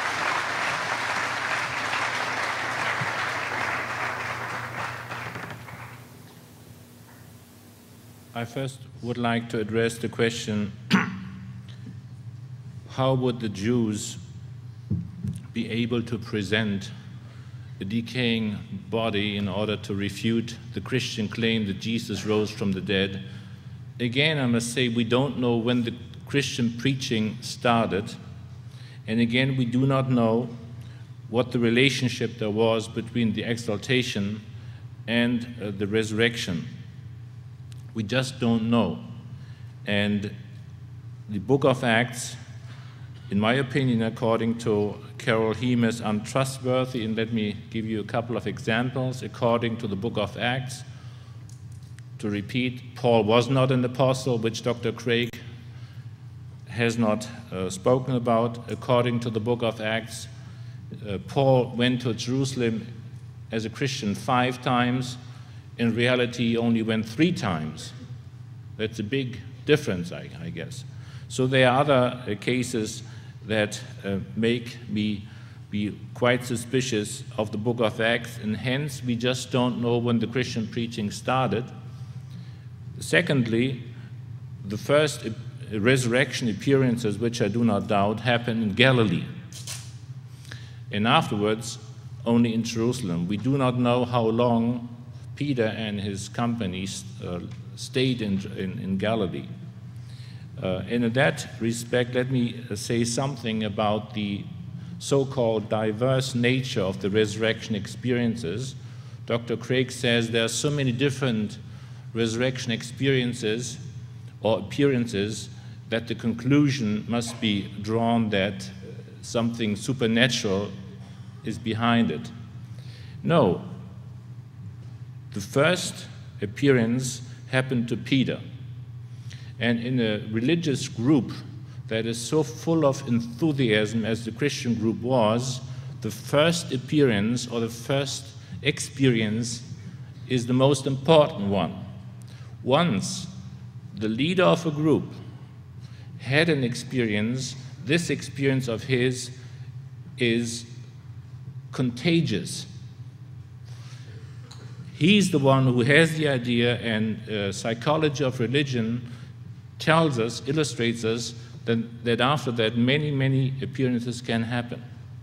And that was the case also in Jerusalem. There was the appearance, whatever it was, to, to Cephas, then the appearance to the twelve, and then even the appearance to more than 500 at once which uh, tells us something about the nature of that experience. The Greek says at once. It must have been like a football stadium. The spirit was exploding, but that could not have happened uh, as a first uh, appearance. Peter must have had that appearance in order to tell the others what happened. So we have, uh, we cannot say there are so diverse appearances. No, no, no. It's a chain reaction. The leader had the first uh, experience. He was telling that he had that, and then the new group got reconstituted. The only other appearance that uh, doesn't fit in this scheme is that of Paul. Because Paul has never seen Jesus. He didn't know Jesus. He hadn't met him in person. So for Paul, it was quite a different uh, ball game, and therefore I have suggested that the only primary experiences that there were in early Christianity is the one to Peter, and that was contagious, and Paul had a primary experience because he didn't know Peter before he became a Christian. We must always take into account the early Christian movement was expecting, was expecting Jesus to come back from heaven within their own lifetime. It was a sort of millenarian movement, an enthusiastic, an enthusiastic movement where many, many things were possible. We have to, to take that uh, into, into account. Now, let me uh, now make some comments on various points as to the location of the empty tomb, which Dr. Craig thinks can be could have been determined on the basis of the witness of Joseph of Arimathea. After that, Nobody knew anything about the location of that uh, tomb, unless you accept that, that Joseph of Arimathea told the Christians about it. If he had told them anything about it, why was there no tradition and no notice in the Christian sources until the early fourth century about the location of the empty tomb? Very unlikely. Uh, uh the mother of, uh, uh, of Constantine was the one who discovered the location of the empty tomb and had a church built on there. But in the, in the report about that, it said it was unknown. It was unknown. So that, I think, is also an argument against any knowledge about the location of the empty tomb. As for uh, the Markan account, that, uh, that's so simple and that's trustworthy, well, I have suggested that the person who is in that story, the young man, is Mark himself, who uh, brings himself into the story and is then the first person to tell his readers, the readers of the Markan Gospel, that he was the one who, who, who, who preached the gospel to uh, the women. Because at the end of Mark, Mark 16:8, where the gospel ends, you know it, what's, uh, what's in there, the women did not tell anybody about what they were told to tell. The, young man told them, Tell the disciple that Jesus will go before you in Galilee, but they disobeyed. And I'm saying, well, if they disobeyed, and Mark says that, there was no way for the message to get out of there uh, uh, what had happened. And uh, I have suggested that Mark, by telling the story in this way, is uh, telling the readers why this story about the empty tomb was, was not known in his community. The women just didn't tell anybody about it. Whereas Matthew and Luke, who were using Mark, changed that, and according to them, they obeyed it. So I take that last verse of Mark seriously. The author is claiming, is emphasizing that the woman didn't tell anybody, and I don't think it's uh, we are uh, we are allowed to say, well, later on they told. No, he he means what he says. He says what he means. They didn't tell, and by bringing himself into the story as a neaniskos, who was also mentioned in Matthew and Mark 14 he reveals to the readers, well, you, it was impossible for you to know where the tomb was. Uh, the women didn't tell you, now I'm telling you what really happened. But that was in the year 70, 40 years after the crucifixion of uh, Jesus. Uh, the Jewish uh, notion that the disciples stole the body, according to Dr. Craig, presupposes that the Jews accepted or are witness for the emptiness of the tomb. Well, I think uh, it's a little bit different. The Jewish notion is based on the Markan claim that the, that the tomb was empty. And, it is, and the, Jewish, the Jews, the anti Christian Jews, offered another anti Christian explanation how this story could have been uh, written. Therefore, the Jewish version of the story cannot be used to support the historicity of the empty tomb.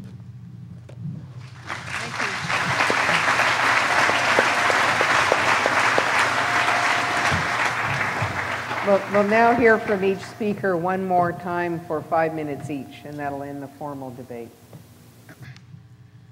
Well, in my closing statement, let me try to draw together some of the threads of the debate this evening. First, I've tried to establish that there are four facts about the historical Jesus that any adequate historical hypothesis has to account for. First, the burial. Now, we both agree with the historicity of the burial of Jesus. The whole dispute comes down as to the significance of the burial for the belief in Jesus' resurrection. And Dr. Ludemann didn't answer my point that it doesn't matter how long after it was the disciples began to preach, as long as there was a decaying corpse in that occupied tomb that would silence belief in the resurrection. But he responded, We don't know the relationship of the corpse to the resurrection body. Well, I think that's simply false. In 1 Corinthians 15, Paul makes it very clear that the spiritual body is the transformation of the body that is sown, that is buried in the ground. Thus, he uses the pronoun it four times. It is sown in weakness, it is raised in power. He uses the pronoun this four times. This perishable nature must put on the imperishable. So that Paul is saying there is historical and numerical continuity between the body that is interred in the ground and that is raised to new spiritual life. So if the disciples were faced with an occupied tomb in Jerusalem, as we both admit, then this would have silenced belief in the resurrection. Secondly, what about their belief in the empty tomb? I gave five lines of evidence for the empty tomb, And in his last speech, Dr. Ludemann finally uh, deals with the question of the simplicity of the count. He says it's not really so simple after all because the young man in the tomb is Mark himself. Well, now the word there, neaniskos, for young man, is used traditionally of angels and other sources. I think there's no reason to doubt that this is meant to be an angelic figure. But more importantly, I think, the women's silence that Mark is talking about here, I don't think was meant to be permanent. He means they didn't tell anybody along the way as they went to uh, find the other disciples. They didn't speak to anyone because they were afraid. Uh, an excellent paper by Larry Hurtado was given this last November at the uh, AARSBL meeting, Society of Biblical Literature, making precisely this point on the women's silence. It's incredible to think that Dr. Ludemann could be correct, that nobody for 40 years would ask about where the grave of Jesus is until Mark says, Oh, well, I was the young man in the tomb and I'm going to tell you where it is. I think that's extraordinarily unlikely. What about the resurrection appearances? Well, again, we both agree that the disciples had these experiences. The question is, were they hallucinatory or not? And finally, fourth, the origin of the disciples' belief. Again, I think we've seen that uh, the disciples' belief is extraordinary, it is un Jewish, it can't be accounted for in light of prior Jewish influences, and therefore cries out for some sort of explanation. Now, the best explanation of these four facts I submit is the resurrection of Jesus. And basically, that's gone uncontested in tonight's debate. The only problem with believing in the resurrection is that it's miraculous, and that's going to hinge on whether or not you believe God exists. And, and if you have trouble with the resurrection, then you really need to re explore whether or not there's good evidence to believe in God, and that's a debate for another evening. But what about the hallucination hypothesis? It has weak explanatory scope because it can't cover all the evidence. It has weak explanatory power in that it can't explain the diversity of the appearances. He says, well, sure it can, because the first was to Peter and the rest were a chain reaction. That's not true. The testimony of the New Testament is that the first appearance was to the women. That's multiply independently attested. And that was prior to Peter's experience. Moreover, James doesn't stand in the chain because James was an unbeliever during his lifetime. Moreover, it's very difficult to explain how groups of people can have hallucinations repeatedly on different occasions. So I think this diversity is very, very difficult for the chain reaction hypothesis to account for. Moreover, it can't explain why they believed in the resurrection of Jesus rather than just his assumption into heaven. Finally, I think the uh, theory is utterly implausible with respect to the depth psychology, the insufficient data, Paul's supposed guilt complex, and the reduction of all the appearances to mere visions. None of this, I think, really stands up the test of historical scrutiny. So I would like to just close by encouraging you to pick up a New Testament yourself and to begin to read it. Read the resurrection accounts in the Gospels. Read what the Bible has to say about this and ask yourself could this really be the truth? Could Jesus really have risen from the dead? I think the historical evidence makes this hypothesis the best explanation of the data, and that means that Christ is alive today and can be known and experienced in our lives as well. Thank you.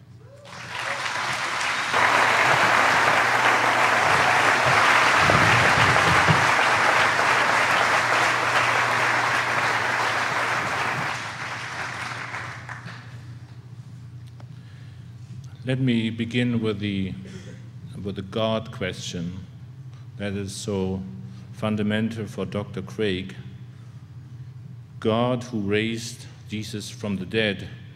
I, as an historian, must ask what God are we talking about here? He talks about the Christian God. What about the God in the Old Testament, who's also the Christian God to some extent, who tells his people to slaughter the Canaanites? What about the cruel features of God in the Bible? And isn't it arrogant to speak or to claim God for oneself, though we know that the Muslims have a God, others have another God, in view of the many religions on this earth who always have different images of God? So, for historical reasons, or for, and for reasons of respect for other religions, I just can't start with that assumption to claim that God for myself. And I have, uh, uh, must say that, uh, would like to remind you of what a pre Socratic philosopher has said, Xenophanes. he was discussing the question uh, if the, the oxes could paint, how they would paint God. And he said, well, their God would look like an ox.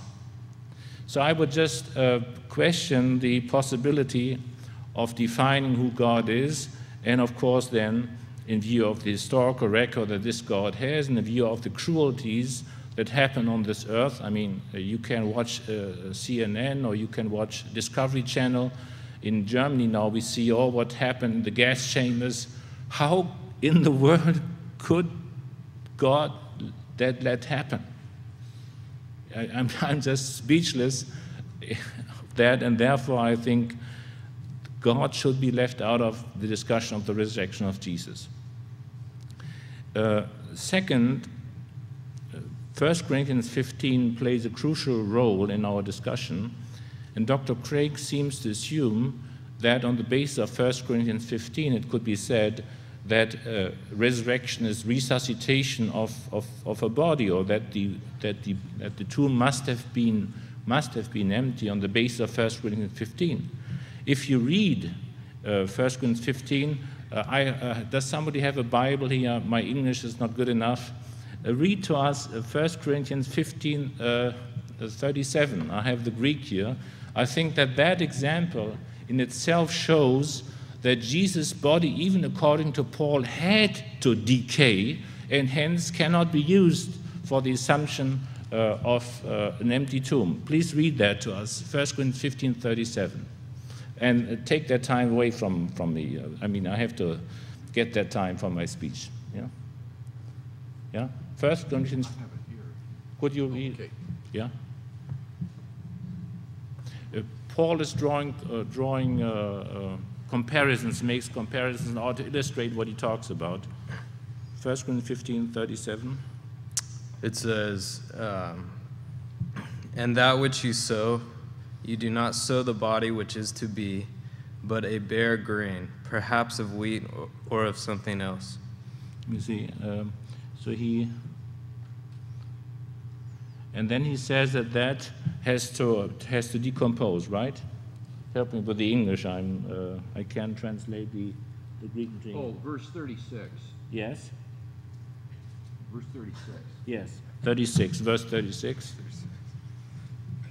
Okay. It says, You fool, that which you sow does not come to life unless it dies. And unless, it, unless it dies. And that which you sow, you do not sow the body, which to be able to bear grain, perhaps of wheat or something else. So, so that bare grain has to decompose, has to vanish in order to give room for a full, uh, for a full plant. That is to say, Jesus' body, the corpse, has to decay so that a new body or a new uh, man could grow out of it. I would claim that the image that Paul is using presupposes, even presupposes, that the, the, the flesh and blood of Jesus had to decay in order to leave room for the new body. Because in 1 Corinthians 15, remember in 1 Corinthians 15, uh, 15, 50 says, flesh and blood cannot inherit the kingdom of God. Yes? And he distinguishes this flesh and blood which has to decompose from the psychic body and the pneumatic body. Yeah? So Paul in itself is using conflicting imagery, and I would say, uh, hence, 1 Corinthians 15 doesn't help us here. I would say, uh, looking at it rather favors my hypothesis that uh, Paul is not talking about the empty tomb. He's not even, of course, cannot be used uh, for the um, uh, for the uh, for the fact that Jesus' body did not decay. As far as Mark is concerned, I have to defend myself. The Neaniskos, the young man, is not a common image for the angel. Uh, I would like to refer you to Mark 14. There you have Peter uh, denying Jesus, the, the uh, not all disciples fleeing but a naked young man or man is following Jesus. And, and he, he's then fleeing. So this naked or this young man stays with his master until the end. And therefore, because young man is, is uh, being used only twice in Mark, I think we have the right to see the author of the Gospel of Mark uh, in it. The origin of the resurrection uh, appearances, and here I come to my end. Uh, I'm not saying that Jesus uh, told them about the resurrection. I'm only saying that Jesus talked to the disciples about the general resurrection.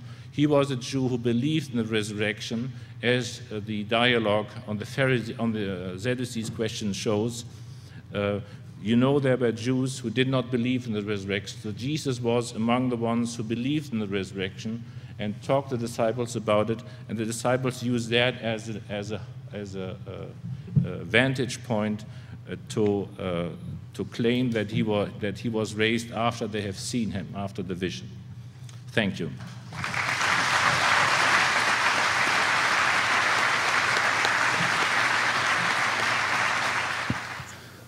This question is for Dr. Craig.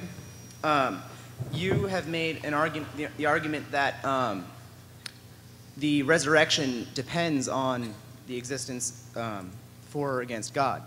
And uh, Dr. Ludemann has made a very compelling argument um, uh, more than once in his, uh, in his, in his lectures here that um,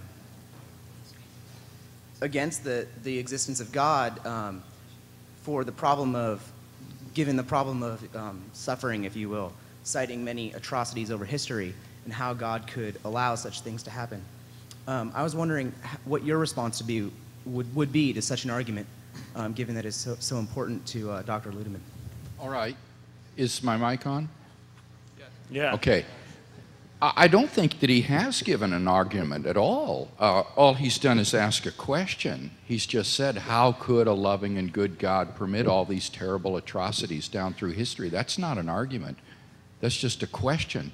And uh, there is an enormous amount of philosophical literature on this that I, I would like Dr. Ludemann to acquaint himself with because I think it could be very helpful. I think in our generation we've seen some of the finest work on this very question done by philosophers like Alvin Plantinga and uh, William Alston and Peter Van Inwagen and Marilyn Adams. So this isn't even the beginnings of an argument. What contemporary philosophers have, I think, by and large concluded is, first of all, that there's no logical incompatibility between God and evil. No atheist has ever been able to show that there's an implicit contradiction between the statements God exists and evil exists or terrible suffering exists. So that there isn't any logical problem there. Now, the atheist might say, well, evil makes it improbable that God exists, if not possible, impossible. But then what the atheist would have to show is that it's improbable that God could have morally sufficient reasons for permitting the evil that occurs in the world. And when you think about it, that's just an extraordinary hypothesis for which we have no a basis for making probability judgments. God's morally sufficient reason for permitting some evil that we observe might not emerge in our lifetimes. It might not emerge for hundreds of years, perhaps in another country.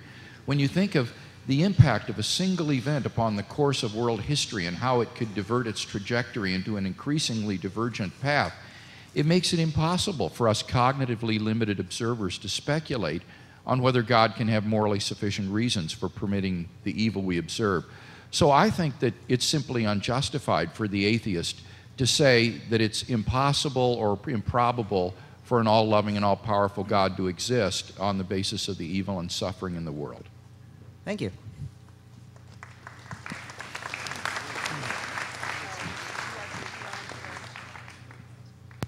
Well, I'm not, do you hear me? Well, I'm not a philosopher, I'm an historian, and that may account for the, for the differences that we have. I'm looking at the text of the Bible and see much more destruction ordained by God uh, in the Bible than Dr. Craig may see. The God of the Bible is only loves his own uh, nation and will destroy others. And even the idea of what's going to happen in the near future among Christians means uh, not only uh, love and paradise, but also destruction. And, uh, and secondly, when I'm reading about evolution, uh, I have to say, well, so many different uh, types of human beings uh, were destroyed because another had to come. I mean, I see in the, this whole process of evolution, much more destruction and cruelties than, I, than, than, than would, than, uh, and that doesn't allow me to see God behind, behind this.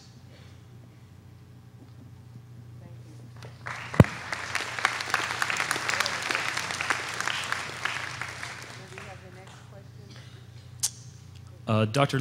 Dr. Ludemann, I noticed that a lot of your early argument uh, was organized around the principle that uh, the Gospels were fictitious, and Dr. Craig, I noticed uh, that your argument was organized around the fact that the Gospels uh, were witness accounts. Now, I'm, as an English major, I know that literary works uh, bear characteristics in their writing if, as, as if they're witnessed that it's distinctly, you can tell that it's a witness account, or if it's fictitious, you can tell that it's imagined by the author. My question is, is that do the Gospels bear characteristics of more of a witness account that is verifiable by experts and witness, or is it more of a fictitious account that has designated areas where you could say this is genuinely fictitious and only the invention of an author?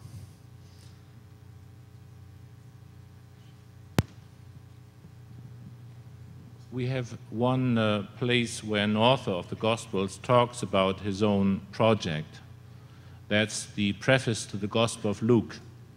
And here he says, Since many have undertaken to write an account about what has come to fulfillment among us, as have, has been transmitted by the eyewitnesses, who were servants of the, of the word, I also have uh, sat down and tried, uh, have, I'm writing an, an, orderly account so as, in order to assure you, uh, as far as the safety of the asphaleia, this, the security of your faith is concerned. That's the preface to the Gospel of Luke, and he uh, hereby shows his knowledge of ancient Greek historiography. That's the way an historian would write a preface to his work. And that also shows us his aim, his ambition. So he really claims to have written a better account that is, than, uh, than his predecessors. So he claims to be an historian, which doesn't exclude the use of literary uh, devices. And therefore, we should check the accuracy of his record, and I'm saying it simply if Luke, who is part of the Bible, makes too many blunders, too many mistakes, he cannot be trusted. He cannot be trusted, and therefore the holy book, the Bible, cannot be trusted, and therefore Christian faith is in trouble. That's my conclusion. I've written in the book, Jesus After 2,000 Years, have examined all the gospel records and in other books I've uh, examined all the Pauline records. And that's the question between the two of us. I'm claiming historically inaccurate, not trustworthy, a lot of tendencies, therefore Christianity and Christian faith has a hard time. When you when you examine the Gospels, the genre of ancient literature that they're closest to is not mythology uh, or uh, tales of epic heroes, but the closest genre they have is ancient biography. And ancient biography did attempt to tell anecdotes uh, historically about their heroes, not necessarily in chronological order, but to illustrate the character traits and salient personality features of, of the person they're about. So the Gospels do, I think, purport to try to write serious history. Now, notice that that doesn't require them to be inerrant in order to be fundamentally reliable. And I've taken my stand on certain basic facts that are mediated to us in the Gospels that most critics who have written on this subject would agree are, are accurate, like the accuracy of the burial story and the empty tomb account, the fact that they saw appearances of Jesus and so forth. So I think that with the Gospels, we are in touch with bedrock history, and uh, I think we can know a good deal about the historical person, Jesus of Nazareth, who actually lived and wrought.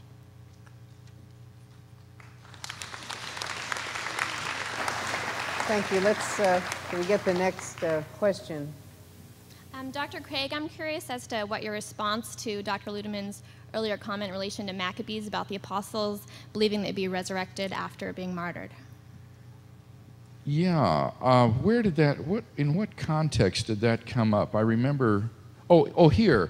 Well, he said that he thought that the resurrection narratives were legends based on things like Elijah's ascent, Ezekiel's vision of dry bones, and the Maccabean martyrs. Well, I would just say the whole case I presented is a response to that, to show that that's not, in fact, the case. That we have these early historical sources for the burial, for the empty tomb, the resurrection appearances, and these aren't just legends. I mean, the whole case I presented was an attempt, in a sense, to show why that hypothesis is wrong. All that shows the Maccabean martyrs is that belief in the resurrection was a common Jewish belief in first century Palestine by the time of Jesus. And he's right that Jesus sided with the Pharisees in accepting belief in resurrection as a form of immortality. But that doesn't do anything to show that the resurrection narratives in the Gospels are therefore legendary. On, on, the contrary, it reinforces my point that the Jewish hope of resurrection was a hope about the general resurrection at the end of the world. That's what the Maccabean martyrs looked forward to, was that someday God would raise the righteous dead. And, and therefore, even those who had perished in Israel's cause would someday be vindicated. And that's what the disciples looked forward to. And given the crucifixion of Jesus, uh, there, a question mark was put behind any hopes they might have entertained that he was going to be the Messiah. Because there was no idea in Judaism of a, Messiah who would come and instead of conquering Israel's enemies, would be humiliatedly executed by them. And they had no idea of a Messiah who would then rise from the dead. So their hope was in the eschatological resurrection at the end of history, like the Maccabean martyrs, and they had no anticipation of Jesus ever coming back to life again. And so that origin of the disciples' belief that God raised him from the dead is something that cries out for explanation. But in order, but in order to understand what resurrection means, it is important to remember that resurrection plays no role in the Old Testament, just in Daniel and in Ezekiel. In the Old Testament, resurrection is practically not known. It is an import from Persia, adopted at a time by Jews when they were persecuted. And this mother of the uh, killed uh, Maccabees has the hope, is using the hope in order to make up for loss in the present. So, in other words, resurrection is adopted and built at a time of persecution. And that is quite interesting, I think, because that shows it's a means to overcome a situation.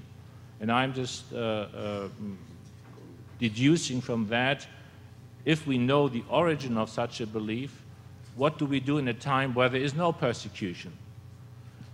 And in addition, the people there at that time had an average age of 30 or 25. Today we have 75. We uh, may lead, a good life. Why should we hope to be uh, raised at one time? There's no need for that.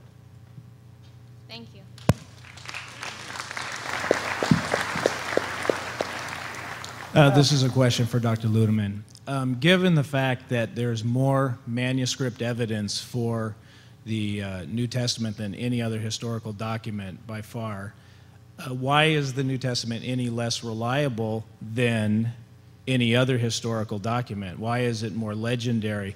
And then the second part of that is um, aren't you taking a psychological or some sort of doctorate stance on why the resurrection is not valid as opposed to a historical stance? Do I come to your uh, second question first. No, I'm looking at the sources and I'm trying to offer an explanation in view of the fact that the sources, according to my own judgment, are legendary. They're not very close to the event, and I have to come up with an explanation for me. The vision or hallucination is at the beginning, and from that vision, disciples concluded that there must have been a bodily resurrection. I would invite you to read my books and to read the text, and that's a question of textual work.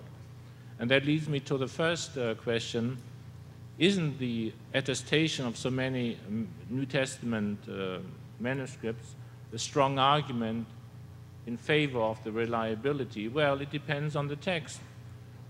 We may put it differently. These many texts allow us to make uh, safer judgments about the reliability than in other cases where we have only one manuscript of, of text. Uh, it depends on the eyes, what you see, what you can demonstrate. And again, I would uh, reinforce, make my point. The Gospel of Mark is the first Gospel, the earliest Gospel, and Matthew and Luke, and both were written in Greek, whereas the original language of Jesus is Aramaic. So we are talking about documents in Greek. And our first job is to compare the relationship that various Greek documents had to one another.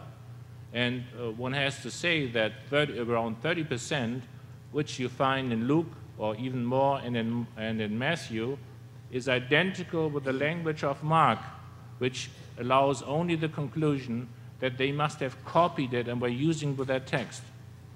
So that uh, uh, the conclusion is um, clear that much of it is unreliable, and I'm coming up, for example, only that 15% of the, of the words of Jesus are really authentic.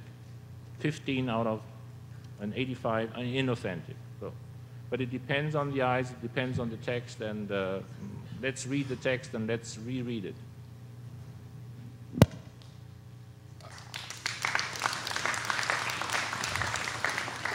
Let me just say that I think that Dr. Ludemann's commitment to the hallucination hypothesis is doctrinaire in the sense that I think it's clearly the result of his prior assumption of naturalism. Apart from the assumption of naturalism, there's no reason to prefer this theory because it doesn't have better explanatory scope, power, plausibility, being less ad hoc than, say, the resurrection. It's it's because one has limited the pool of live options only to naturalistic theories that the hallucination hypothesis emerges as your best explanation. Now, I could admit it is the best naturalistic explanation. I mean, if naturalism is true, then you've got to explain the disciples' beliefs merely psychologically. What else could they be except some psychological thing? So it's all based upon the prior assumption of naturalism. But if you don't make that assumption, if you allow a miraculous explanation into your pool of live options, then it is by no means clear uh, that the hallucination hypothesis is the best explanation. Thank you.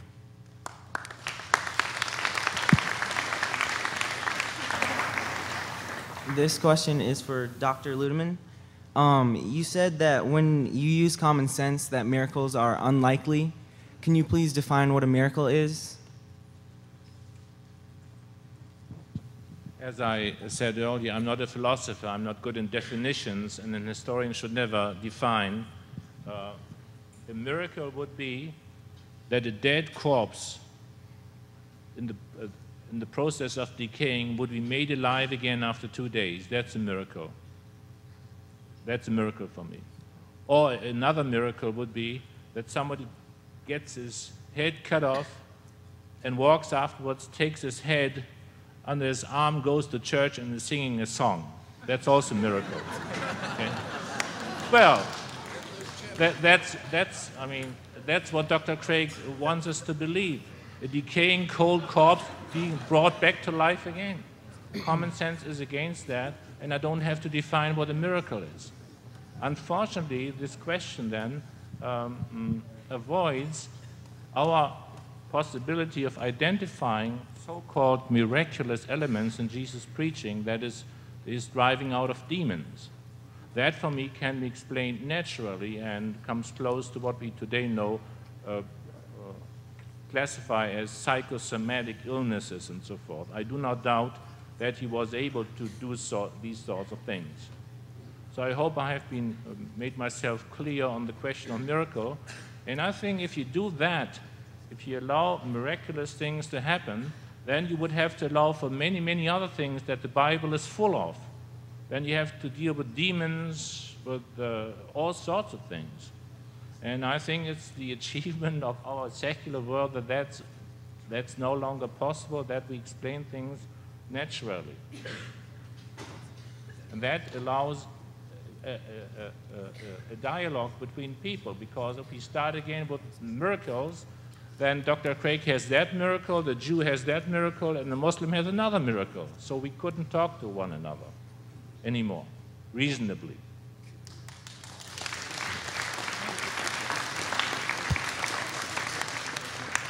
Well, of course we could talk to one another just as we have tonight. What we would then ask would be, well, what is the evidence for these purported miracles? And then we would look at whether or not there is good evidence. All I'm asking you to do is to be open to the possibility of miracles, to be willing to look at the evidence, not to rule them out of court before you look at the evidence. In order to do that, you have to know that God doesn't exist. So only if you have a proof of atheism can you be rationally justified in presupposing the impossibility of miracles? Now, what is a miracle? Well, Dr. Ludemann gave some examples of things that would be miracles, but by way of a definition, a miracle would be an event which cannot be explained by the natural space time causes that are operative at the place and time the event occurs. That's what a miracle would be. It would be an event which cannot be fully explained by the operative natural space time causes at the time of the event. Thank you.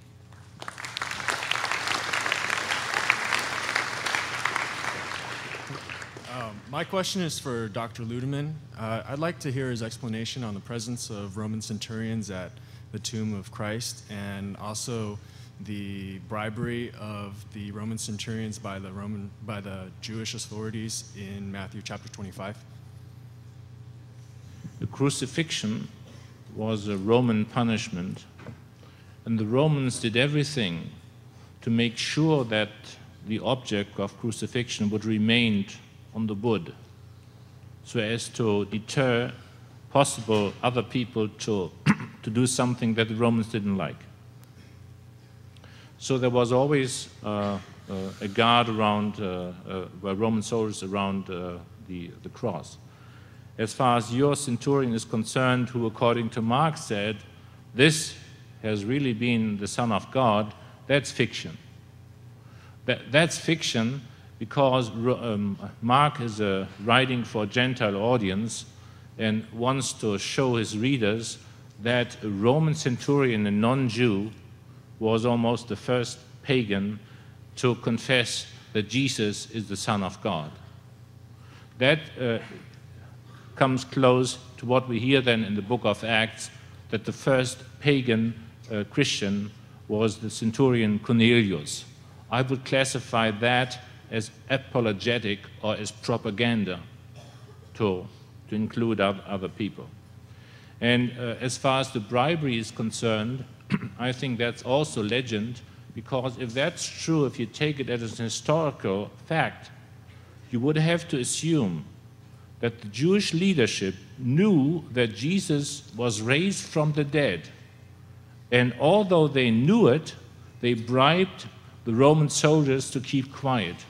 I think, again, that's very strong propaganda and uh, virtually anti Judaistic or anti Semitic that the Jewish leadership knew about the resurrection and still bribed somebody else to tell lies. Again, I think I have explained that that, that that's fiction, has nothing to do with history.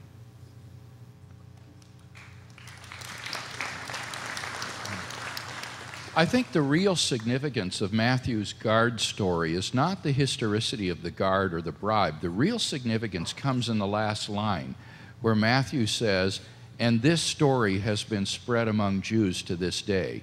This shows that Matthew is exercised to try to re refute a widespread Jewish counter explanation uh, to the resurrection of Jesus. Now, what were the Jews saying?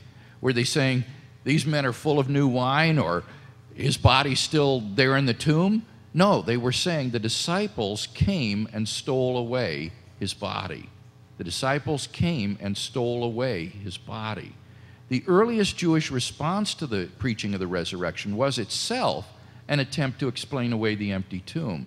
And this doesn't come in response to later uh, Christian beliefs. This, this is pre Matthean. There, there's tradition behind this Matthew story. It goes back to the early Jewish Christian disputes prior to the destruction of Jerusalem, and therefore I think provides enemies, uh, evidence from the very enemies of the early Christian movement of the fact of the empty tomb that they, they were desperate to explain away. Thank you. Okay. Let's have the next question, please. Um, Dr. Ludemann, I was just wondering why, though you said to the English major um, that the Bible was untrustworthy, that you use it as a source to uh, prove God's cruelty towards people such as the Canaanites, and um, why this cruelty exempts God from taking part in the resurrection.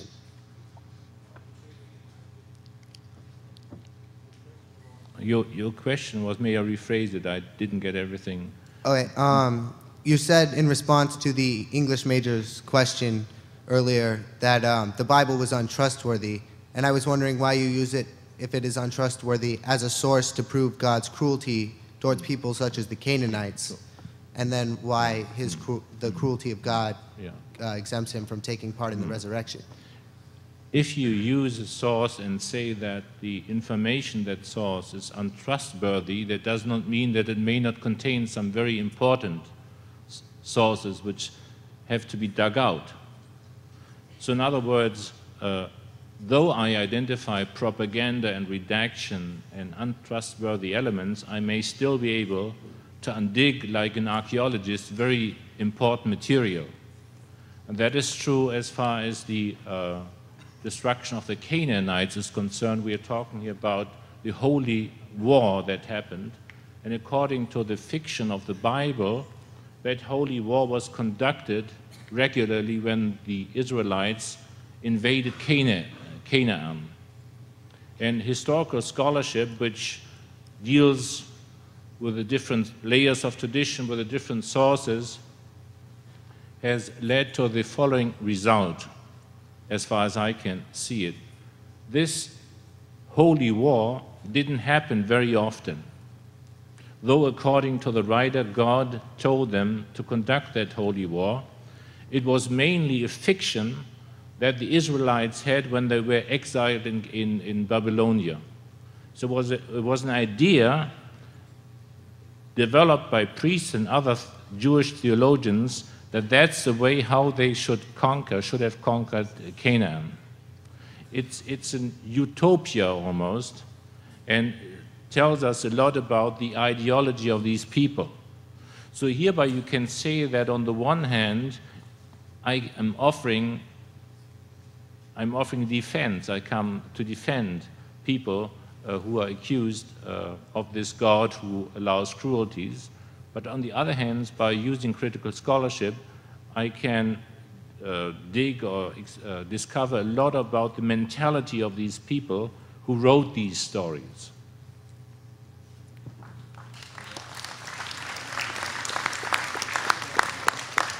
Let me just say something about the analogy to archaeology that I think is helpful. In other words, neither one of us is, as I said, approaching the New Testament tonight as a sort of inspired and therefore inerrant document. We're approaching it like you would ordinary historical documents. And so you're going to sift through these documents to separate the historical from the unhistorical parts and to try to find the, the nuggets that are genuine historical uh, bedrock that you can prove to have happened. And so that's why I'm not arguing on a lot of these peripheral points. Those are neither here nor there. The central points are those four central facts that I identified tonight that critical historians who don't believe in the inerrancy or inspiration of the Bible accept simply on the basis of historical evidence, treating these archaeologically, as it were, as Dr. Ludemann puts it, and trying to find the, the, the bedrock that is there. And you get back to these four facts, and then you have to, as a responsible historian, figure out the best explanation. So that's why I'm trying to avoid these red herrings and to camp on those four facts because I think that's the bedrock that constitutes the historical foundations for the belief in the resurrection. Thank you.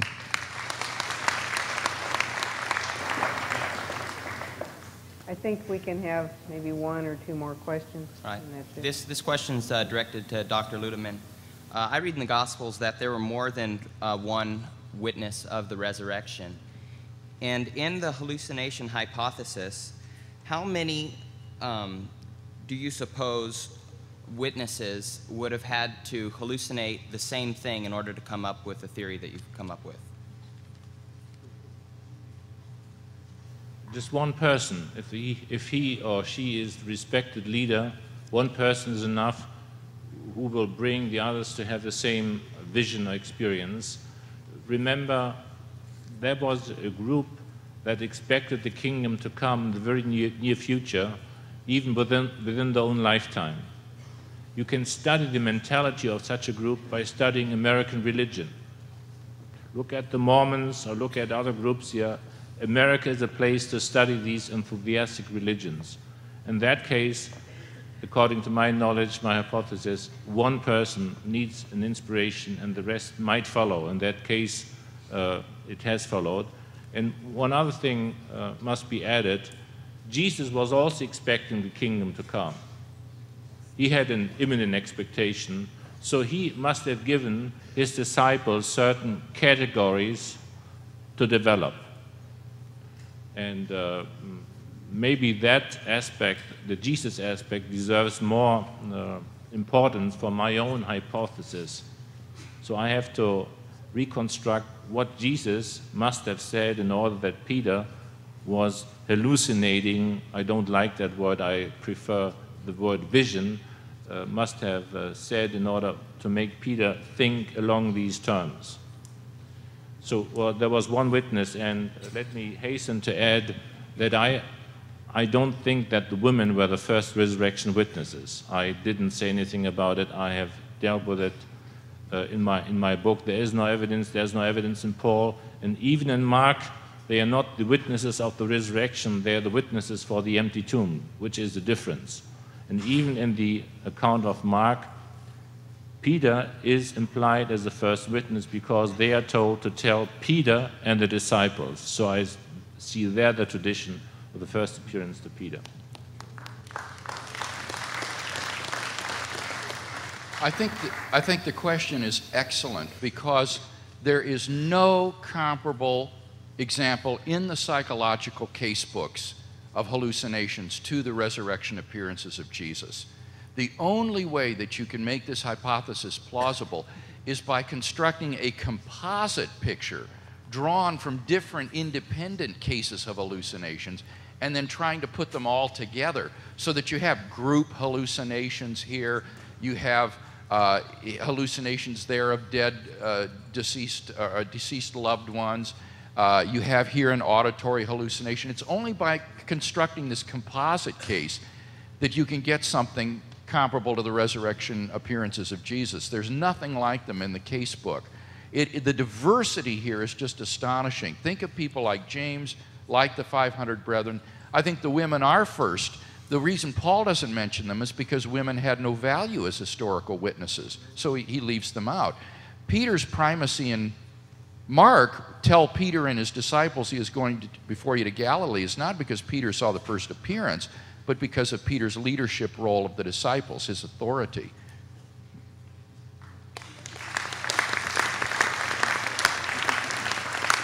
Yeah, thank you. Uh, this is going to be our final question, and uh, because it's almost 10:30, I'm sorry that some of you are disappointed, but uh, yes. Uh, and uh, this question is for Dr. Craig.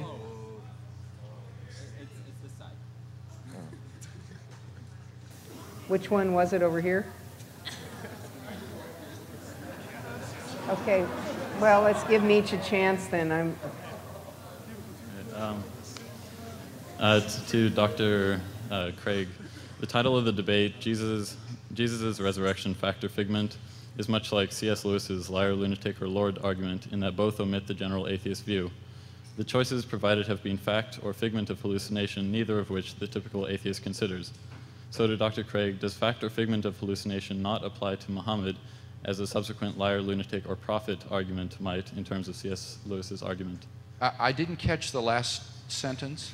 Um, does, Say it slowly. Okay, does the fact or figment of hallucination um, not apply to Muhammad as a subsequent liar, lunatic, or prophet argument um, might in terms of C.S. Lewis's argument? Oh, okay, now do, let me see if I understand your question. Are you saying that we can also ask of Muhammad, the founder of Islam, whether uh, his experience was fact or figment? Is that what you're asking? Well, I, am just um, trying to point out a, a, flaw in the in the title, uh, "Fact or Figment of Hallucination," as a like very. I don't think many atheists really believe that it's either of those. Um, but I just want to ask why it wouldn't apply to Muhammad or some other um, religious leader. Okay, I'm not sure. You're going to have to help me here with your question. I think you could ask of Muhammad's experience where he claimed to have gone into the desert and had an angelic revelation uh, in which God said to him, Recite, and then he received or began to receive revelation from God. Similar with the Joseph Smith example, the founding of Mormonism, very much like Muhammad's experience. One would want to ask, is this a veridical experience or is it a figment? Uh, that is to say, is it a non veridical experience? Now, is there, is there something that you see problematic in that? Um, I, I, just want to point out that um, that the like the premise of the of the debate yes as um, determining whether it's a factor or a figment of hallucination um, is neither um, a let's see um, it's it's not it's not more applicable to the um, Christian standpoint than any other religion, and therefore, um, uh, well, I guess I don't see that it is more applicable. Factor figment means is this true or is it just the product of one's own imagination? And so it does seem to me that that's an appropriate uh, question to ask about the resurrection of Jesus. Is this a fact or is this the product of one's imagination, in this case, visionary or hallucinatory or, experiences? That, or the or the altering of what? Or the altering of um, of uh, scripture over time, or many other possibilities. Oh, well, okay, but these are the possibilities that we're defending. I mean, we're representatives of these two alternatives. Mm-hmm. I mean, there are other theories like the conspiracy theory of 18th century deism that the disciples stole the body and lied about the resurrection appearances. But I don't think you'd find any contemporary scholar that would defend the conspiracy theory. So we're trying to find the best explanation. And as I said, if you limit the pool of live options to naturalistic explanations, then probably the hallucination hypothesis is going to be as good as anything. I, I think it's certainly better than the conspiracy hypothesis or, say, the, appar- the apparent death theory. I had a friend down at UC Irvine defend a twin hypothesis that Jesus of Nazareth had an unknown identical twin brother who appeared to the disciples and stole the body from the tomb. I think that's less plausible than Dr. Ludemann's hallucination hypothesis. So Sure, there are other alternatives, but we're trying to weigh which one is the best explanation of the data. Uh, the alternative fact of figment is very much oriented on the historical question. For Dr. Craig uh, and for traditional Christianity, uh, Christianity or Christian religion is finished if resurrection is not an historical event. Okay, that's the logic behind this originally, or one could also say hoax or history. Uh, but, but I'm using this, uh, the last seconds that I have, to raise the question even if it is not historical, as I think, it still may be true. Uh, truth must not always be tied with history. It, one could think along the lines that it's not historical, but still, in the vision and here I would then not use hallucination in the vision of Jesus to be compared with dreams that we have. Some truth about what he was going to do surfaces. That would be then the option of liberal Christianity, which I wouldn't call, uh, which I wouldn't call Christian, but still a possibility. We should not always tie truth with history. There's another dimension of truth, but that may be then a topic for another discussion.